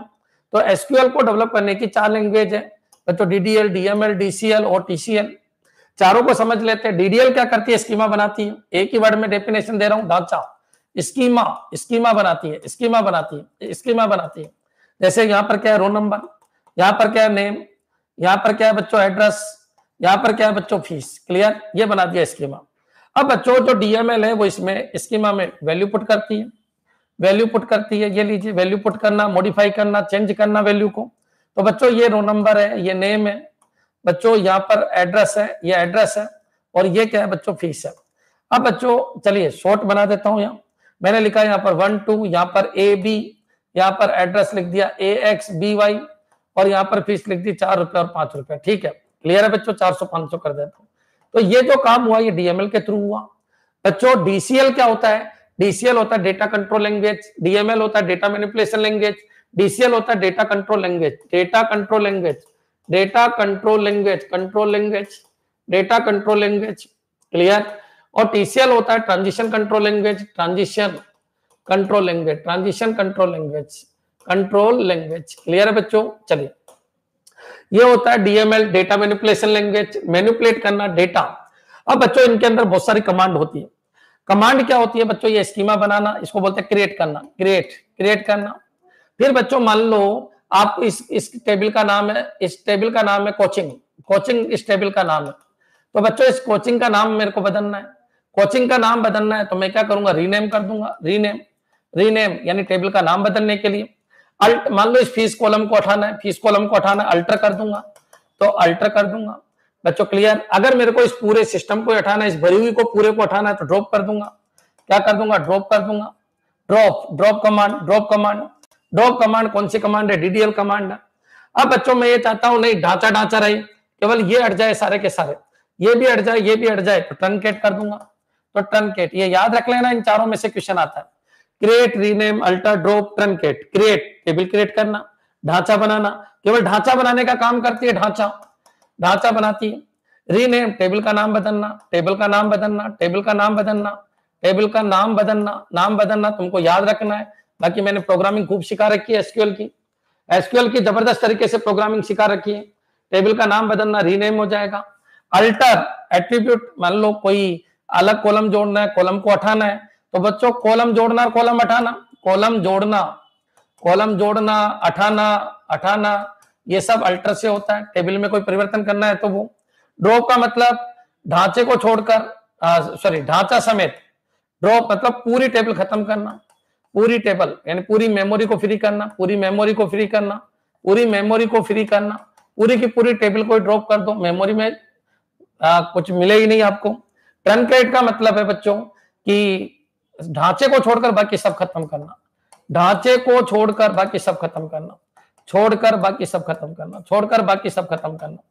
बाकी सब खत्म करना। सभी खत्म। सभी खत्म। इसका मतलब सारी एंट्री खत्म बच्चों। ढांचे को छोड़कर। ये एंट्री पूरी खत्म, ये पूरी खत्म। ढांचा ढांचा रहेगा। तो मेरे हिसाब से पाँचों की पाँचों कमांड आपको रटनी है और इनमें से क्वेश्चन आया था। कंप्यूटर टीचर में दो क्वेश्चन इन कमांड में से आए थे। ये डीडीएल कमांड खत्म। क्या ये क्लियर है? रिलेशन में आ, क्या लिखा? अंबिका के सभी स्टूडेंट सिलेक्ट अरे होंगे बच्चों होंगे इस कोचिंग से। एक बच्चा पूछ रहा था कुछ चला गया शायद ऊपर। रिलेशन में एक निश्चित कॉलम को डिलीट करने के लिए कौन सी कमांड यूज़ होती है? अल्टर मान लो इस कॉलम को ही खत्म करना है फ़ीस को तो अल्टर कमांड यूज़ होती है। अल्टर कमांड क्लियर कॉलम को अगर खत्म करना है तो अल्टर कमांड और बाकी अभी और समझाते हैं। डीएमएल के अंदर आ जाइए। डीएमएल की बात कर लेते हैं। बच्चों, मेरे पढ़ाने में एक चीज़ देखी होगी, वो है क्लियरिटी क्लियरिटी इतनी ज़बरदस्त की 90 परसेंट टीचर को ये पता नहीं वो बोल क्या रहा है। लेकिन मेरे साथ एक चीज़ है कि मैं जो बोल रहा हूँ, वो आपके समझ में भी आना चाहिए। आता है हंड्रेड परसेंट आता है। लेकिन हाँ एक बार मेरे वीडियो देखे हुए होने चाहिए। और सारे वीडियो तुम एक महीने में देख लोगे। और एक महीने में तुम आइए बन जाओगे, अगली वैकेंसी की तैयारी करने की ज़रूरत नहीं पड़ेगी। इसी वैकेंसी में तुम्हारी जॉब लग जाएगी। यहाँ मैं तुम्हारे रिविजन करवा ही रहा हूँ। यहाँ मैं रिविजन करवा रहा हूँ, लेकिन ये रिविजन इतना फास्ट है कि उसके ज़्यादा समझ में आएगा जो अंबिका का एक बार स्टूडेंट बन चुका है। क्लियर है बच्चों? तो एक बार मेरे रिकॉर्डेड वीडियो को ज़रूर देखिएगा। एप्लीकेशन के ऊपर पड़े हुए अब बच्चों, अपन बात कर लेते हैं डीएमएल की। तो डीएमएल का मतलब होता है data manipulation language data manipulation language वो तो लिख दिया। अब इसकी कमांड कौन कौन सी है? चलिए, कोई ये कैसे मेरे को ढांचा ढांचा बनाना है तो क्रिएट यूज़ करो। सर, ढांचे का नाम बदलना है तो रीनेम करो। सर, ढांचे में एक कॉलम हटाना है या दूसरा कॉलम जोड़ना है तो अल्टर यूज़ करो। सर पूरा का पूरा डेटा समेत ढांचा हटाना है तो ड्रॉप यूज़ करो। सर कंटेंट हटाना है, लेकिन ढांचा रखना है तो ट्रनकेट यूज़ करो। क्लियर यहाँ तक आपके समझ में आ जाना चाहिए। बिहार टीचर का बेच चल रहा है बच्चों ऑनलाइन चल रहा है। बिहार टीचर का बेच ऑनलाइन चल रहा है, ठीक है? चलिए, अब बच्चों डीएमएल कमांड देख लेते हैं। डीएमएल में क्या होता है बच्चों? अब मैन्युपुलेशन का काम आ गया। एक तो बच्चों इसमें इंसर्ट करते हैं अपन। डेटा को क्या करते हैं? इंसर्ट तो इंसर्ट कमांड तो डेटा को इंसर्ट करते हैं insert command insert command insert command काम आएगी? एक बच्चों 400 गलत लिख दिया, इसकी जगह दूसरा लिखो तो अपडेट हो जाएगा। जो डेटा के ऊपर लगे अपडेट या मॉडिफाई बोल दो। अपडेट या मॉडिफाई हो जाएगा। इंसर्ट करो अपडेट या मॉडिफाई करो। अब बच्चों, हो सकता है मेरे को आउटपुट में इस डेटा को शो करना है तो सिलेक्ट करो। क्या करो? सिलेक्ट करो। हाँ हो सकता है मेरे को ये वाला कॉलम हटाना है, ये वाली रो हटानी है तो डिलीट कर दो। डिलीट कर दो बच्चों। देखिए, डिलीट और टनकेट में अंतर है। टनकेट सारी एंट्रियों को खत्म करेगा, डिलीट पर्टिकुलर एंट्री को खत्म करेगा, और ड्रॉ पूरी टेबल को ही खत्म कर देगा। ये तीनों ही हटाते हैं। ये भी हटाता है, ये भी हटाता है, ये भी हटाता है। और अल्टर भी हटाता है, लेकिन अल्टर क्या करता है? पर्टिकुलर कॉलम को हटाता है। क्लियर है? तो ये कॉलम को हटा देगा या नया कॉलम जोड़ देगा। अल्टर के साथ रिमूव कॉलम अल्टर के साथ एड कॉलम ऐसे चलता है। ड्रॉ पूरी टेबल को हटाएगा के किसी कॉलम को हटाएगा डिलीट है, वो पर्टिकुलर टप्पल को हटा देगा। जैसे इस टप्पल को हटा दो, इस टप्पल को हटा दो। क्लियर अपडेट अपडेट करना इंसर्ट इंसर्ट करने के। क्लियर है बच्चों? मेरे हिसाब से समझ में आ गया होगा। तो ये कमांड आपके क्लियर होनी चाहिए। इंसर्ट अपडेट मॉडिफाई सेलेक्ट और डिलीट ठीक है। अब आ जाइए। लोग लोग कमांड लोग कमांड क्लियर चलिए। अब आ जाइए डीसीएल डीसीएल क्या होता है? Data control language data control language मतलब एडमिन पावर देना और एडमिन पावर छीन लेना। तो बच्चों एडमिन पावर देने को कहते हैं ग्रांट मान लीजिए, किसी यूनिवर्सिटी के, मान लीजिए एक मुख्यमंत्री बनाए, दो उप मुख्यमंत्री बनाए। मुख्यमंत्री जी कहीं खाने पे चले गए।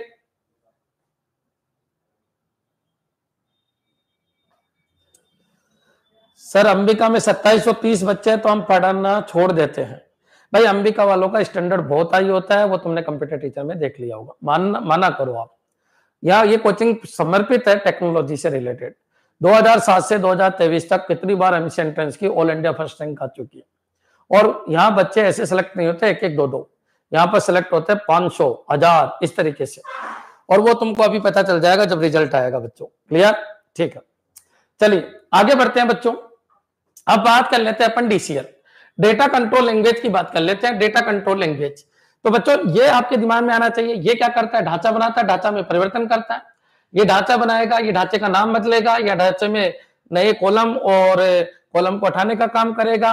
ये पूरे के पूरे ढांचे को मेमोरी से हटा देगा विद डेटा ट्रनकेट ट्रनकेट का मतलब होगा, बच्चों ढांचे को छोड़ देगा, बाकी सारी एंट्री को हटा देगा डिलीट कम पावरफुल है, ये याद रखना। सबसे ज़्यादा पावरफुल ड्रॉप है, फिर ट्रनकेट है, फिर डिलीट है। काम तीनों का एक जैसा ही। डिलीट क्या करता है? पर्टिकुलर रो को हटा देगा, ठीक है? अब चलिए बच्चों डेटा कंट्रोल लैंग्वेज अब क्या होता है डेटा कंट्रोल लैंग्वेज ये भी आप समझ लो। डेटा कंट्रोल लैंग्वेज क्या होता है बच्चों? तो ऐसे समझ लीजिए, मान लीजिए एक मुख्यमंत्री है, दो उप मुख्यमंत्री है। क्यों बनाए गए? मोदी जी ने क्यों बनाया? एक मुख्यमंत्री, दो उप मुख्यमंत्री ये बनाया। कभी मुख्यमंत्री के जुकाम लग गई। तो बच्चों, आप बताइए, उस समय परमिशन का काम किसका होगा? उप मुख्यमंत्री का होगा। तो उप मुख्यमंत्री क्लियर है? तो मान लीजिए किसी टेबल के ऊपर किसी का एडमिन पावर है। यानी मेरी एडमिन पावर है, मेरी अनुमति के बिना कुछ नहीं हो सकता। और कभी मैं छुट्टी पे चला गया छह सात दिन की तो मैं अपनी जो एडमिन पावर हो किसी को दे के जाता हूँ। तो किसी को एडमिन पावर देना, वो कहलाता है ग्रांट और जब आ जाओ, वापस छीन लेना रिवोक उसको क्या कहते हैं? रिवोक क्लियर तो ग्रांट और रिवोक ये दो कमांड है बच्चों। ग्रांट होता है एडमिन पावर देना और रिवोक होता है एडमिन पावर छीन लेना। एडमिन पावर छीन लेना। क्लियर है? जहाँ तक आपके समझ में आ जाना चाहिए। ग्रांट होता है एडमिन पावर देना और रिवोक होता है एडमिन पावर छीन लेना। क्लियर है? अब चलिए अपन बात कर लेते हैं ट्रांजिशन कंट्रोल लैंग्वेज इसके होते हैं बच्चों चार कमांड कौन कौन सी? बच्चों, एक होता है सेट पॉइंट सेट पॉइंट याद रखना इंपॉर्टेंट है। ट्रांजिशन का मतलब होता है कोई भी अपन मान लो डाउनलोड कर रहे हैं, या अपलोड कर रहे हैं, या फिर पेमेंट कर रहे हैं, या किसी गेटवे को यूज़ कर रहे हैं। तो ये होता है बच्चों ट्रांजिशन मान लीजिए मैं फ़ोन पे कर रहा हूँ। तो फ़ोन पे हो रहा है तो फ़ोन पे की जो स्टेप है, वो सब इसमें आएगी कि क्या क्या आपने कर दिया। क्लियर चलिए। तो बच्चों सेट पॉइंट होता है सेव पॉइंट होता है। क्या होता है save point set point save point होता है। बच्चों, एक होता है कमिट कमिट और एक होता है roll back roll back clear तो ये याद रखना, ये टीसीएल के अंदर आती है सारी की सारी। अब बच्चों, यहाँ से भी आपका क्वेश्चन आया था कंप्यूटर टीचर के अंदर। यहाँ से भी आया, यहाँ से भी आया, यहाँ से भी आया, यहाँ से भी आया। तीन क्वेश्चन आपके इस टॉपिक से आए। क्लियर चलिए। अब बच्चों set point save point commit और रोल बैक इनके बारे में चर्चा कर लेते हैं। सेट पॉइंट क्या होता है? सेव पॉइंट क्या होता है? कमिट क्या होता है? रोल बैक क्या होता है? तो बच्चों, देखिए, मान लीजिए एक ट्रांजिशन चल रहा है। ये ट्रांजिशन यहाँ से यहाँ तक चल रहा है। बच्चों, एक बार मैं आपको क्लियर कर देता हूँ। मान लीजिए आप अपलोड कर रहे हो या डाउनलोड डाउनलोडिंग से समझ लो, ज़्यादा अच्छा रहेगा। Set point save point commit और रोल बैक क्लियर ये कौन सी कमांड है? तो ये ट्रांजिशन कंट्रोल लैंग्वेज की कमांड है बच्चों, चार। बच्चों, इसमें आपको ये याद रखनी है पाँच, इसमें भी आपको पाँच याद रखनी है। इसमें आपको ग्रांट और रिवोक याद रखना इसमें चार याद रखनी है। मेरी गारंटी आइए में दो नंबर पक्के हो जाएँगे, केवल इसी स्क्रीन स्क्रीन से। आपके दो नंबर पक्के हो जाएँगे क्लियर चलिए। अब बच्चों, मैं आपको ये बता देता हूँ सेट पॉइंट सेव पॉइंट क्योंकि वहाँ जगह नहीं थी। तो सेट पॉइंट क्या होता है? सेट पॉइंट क्या होता है? सेट पॉइंट क्या होता है? सेव पॉइंट क्या होता है? सेव पॉइंट क्या होता है? Set point save point commit और रोल बैक कमिट और रोल बैक क्लियर तो इनके बारे में अपन चर्चा कर लेते हैं। देखो बच्चों, जब तुम अप डाउनलोड करते हो किसी चीज़ को, मान लीजिए ये चीज़ आपके पास आ रही डाउनलोड करते हो आप। अब डाउनलोड करते हो तो बच्चों होता क्या है, आपने देखा होगा। जब कोई नया डाउनलोड होता है तो उसको बोलते हैं सेट पॉइंट सेट पॉइंट अब सेट पॉइंट बच्चों, मान लीजिए मैंने कर दिया कि ठीक है, ये नया डाउनलोड है ज़ीरो नंबर और हर दस दस के ऊपर मैंने क्या लगा रखा है? हर दस के ऊपर मैंने क्या लगा रखा है? सेव पॉइंट लगा रखा है। ट्रांजिशन में भी होता है डाउनलोडिंग में भी होता है, सब में होता है। जहाँ पर भी ट्रांजेक्शन की बात हो डेटा आ रहा हो, वहाँ पर ये सारा का सारा काम होता है। क्लियर अब बच्चों, होता क्या है बच्चों? सेट पॉइंट क्या होता है? मान लीजिए मैंने सेट पॉइंट तो ये हो गया कि ठीक है, ये नई फ़ाइल है। न्यू फ़ाइल के बारे में बताता है कि ठीक है न्यू डाउनलोड यहाँ से स्टार्ट है न्यू न्यू यहाँ से स्टार्ट है। अब क्वेश्चन है सेव पॉइंट क्या है? मान लीजिए आपने 12 एमबी डाउनलोड कर लिया। कितना एमबी 12 अब 12 एमबी है बच्चों 12 एमबी लगभग यहाँ होगा। तो 12 एमबी ये सेव पॉइंट लगा रखे ये सब क्या है बच्चों? सेव पॉइंट है। अच्छा ये क्या है बच्चों? सेट पॉइंट है। अब 12 एमबी इतना डाउनलोड हो गया बच्चों, और डाउनलोडिंग बंद हो गई। तो 10 एमबी एच मिलेगा, क्योंकि वो ऑटोमेटिक सेव पॉइंट हो चुका है। अब बच्चों, अगला जो एड होगा, वो 12 से 14 पे नहीं जाएगा, ज़ीरो से भी नहीं आएगा। वो 10 के आगे का डाउनलोडिंग होगा, इसको बोलते सेव पॉइंट अब बच्चों, क्या होता है? पूरा जब कंप्लीट हो गया डाउनलोड तो उसको कमिट कह देते हैं। कमिट मतलब उसकी एंट्री हो गई, कि आपने डाउनलोड किया। अगर आपका पूरा डाउनलोड हो गया तो आपको दिखेगा हंड्रेड परसेंट वो आपने यूट्यूब में सब में देखा होगा। कमिट का मतलब है हंड्रेड परसेंट काम हो गया हंड्रेड परसेंट ट्रांजेक्शन हो गया। अगर मान लो आप 99 पे ही हो और यहाँ पर अटक गए तो अपन क्या कर देते हैं? रोल बैक वापस ज़ीरो पे पहुँच जाते हैं। रोल बैक का मतलब होता है रिटर्न कमिट का मतलब है फाइनल सबमिट कमिट का मतलब होता है फाइनल सबमिट सबमिट बच्चों क्लियर ये फाइनल सबमिट है, ये वापस स्टार्ट करना है। सेव पॉइंट का मतलब वो पॉइंट होते हैं बीच बीच में। जहाँ तक अपन ने डेटा को ले लिया है, और सेट पॉइंट मतलब न्यू ट्रांजेक्शन क्लियर ये पॉइंट आपके सामने आ जाना चाहिए। अब चलिए ट्रिगर क्या होते हैं? तो एक बच्चा पूछ रहा है, सर ट्रिगर क्या होता है? ट्रिगर का मतलब होता है कि मान लीजिए कोई काम चल रहा है और कोई काम चलते चलते मान लीजिए किसी बंदे का ऑपरेशन चल रहा है, ठीक है? लेकिन बीच में कोई एक ऐसा कंसेप्ट आ गया ट्रिगर ट्रिगर आ गया तो बच्चों को जो पर्टिकुलर काम है वो रुक जाता है और उस ट्रिगर को हैंडल किया जाता है। ट्रिगर ट्रिगर को अपन इस तरीके से बोल सकते हैं कि जो अनशिट मतलब पहले से ही डिफाइन कोई कंडीशन नहीं है बच्चों, और कोई अचानक डिफाइन कंडीशन वाला आ जाता है, उसको बोलते हैं trigger clear sir roll back में नहीं रोल बैक मतलब पूरा वापस, शुरू से लास्ट तक. क्लियर रोल बैक मतलब शुरू से लास्ट तक. ज़ीरो पे आ जाना वापस. जैसे मान लो आपने फ़ोन पे किया. अब फ़ोन पे किया, एक एक, दो, तीन, चार, पाँच. अब वहाँ जाके आपने कैंसिल कर दिया तो वो रोल बैक हो गया, पूरा का पूरा. हाँ किसी चीज़ का ऑटोमेटिक शुरू होना, वो रोल बैक ट्रिगर है ट्रिगर ट्रिगर का मतलब है कोई भी कंडीशन अगर चल रही है और ट्रिगर आ गया तो वो चीज़ रुक जाएगी और ऑटोमेटिक कोई दूसरी चीज़ चल जाएगी, उसको कहते हैं ट्रिगर क्लियर आ रहा है एक क्वेश्चन आगे ट्रिगर का लिया है। कौन कौन से तरीके के ट्रिगर होते हैं, वो सब समझा देंगे। क्लियर अब बच्चों, इस क्वेश्चन को देखिए। आपका जो क्वेश्चन है, उसके ऊपर आ जाइए। क्वेश्चन है, बच्चों एसक्यूएल कमांड और एसक्यूएल क्रिएट किसमें आएगा? तो क्रिएट करना मतलब ढांचा तैयार करना। तो डीडीएल के अंदर आएगा DDL data definition language select किसमें आएगा? तो सेलेक्ट बच्चों डेटा मैनिपुलेशन लैंग्वेज कमिट किसमें आएगा? तो कमिट ट्रांजिशन कंट्रोल लैंग्वेज और ग्रांट किसमें आएगा? तो डेटा कंट्रोल लैंग्वेज क्लियर तो सीधे सीधे ही है, कोई ज़्यादा दिक्कत नहीं. कल बच्चों यहाँ से आगे बढ़ेंगे, क्योंकि काफ़ी टाइम हो गया। अठारह से आगे के क्वेश्चन लेंगे। आज लगभग मैंने अठारह चैप्टर मान के चलो कंप्लीट करवाए आपके। कल एग्ज़ाम तक बच्चों, में आपकी तैयारी ऐसी करा दूँगा कि आपको, लेकिन एक बार मेरी वीडियो देख के आ जाइए आप।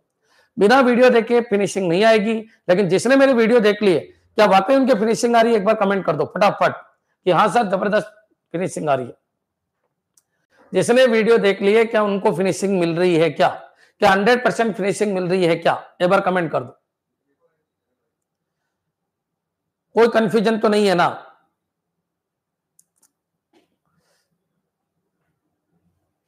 Yes sir yes sir yes sir hundred percent ठीक है? वेरी गुड ठीक.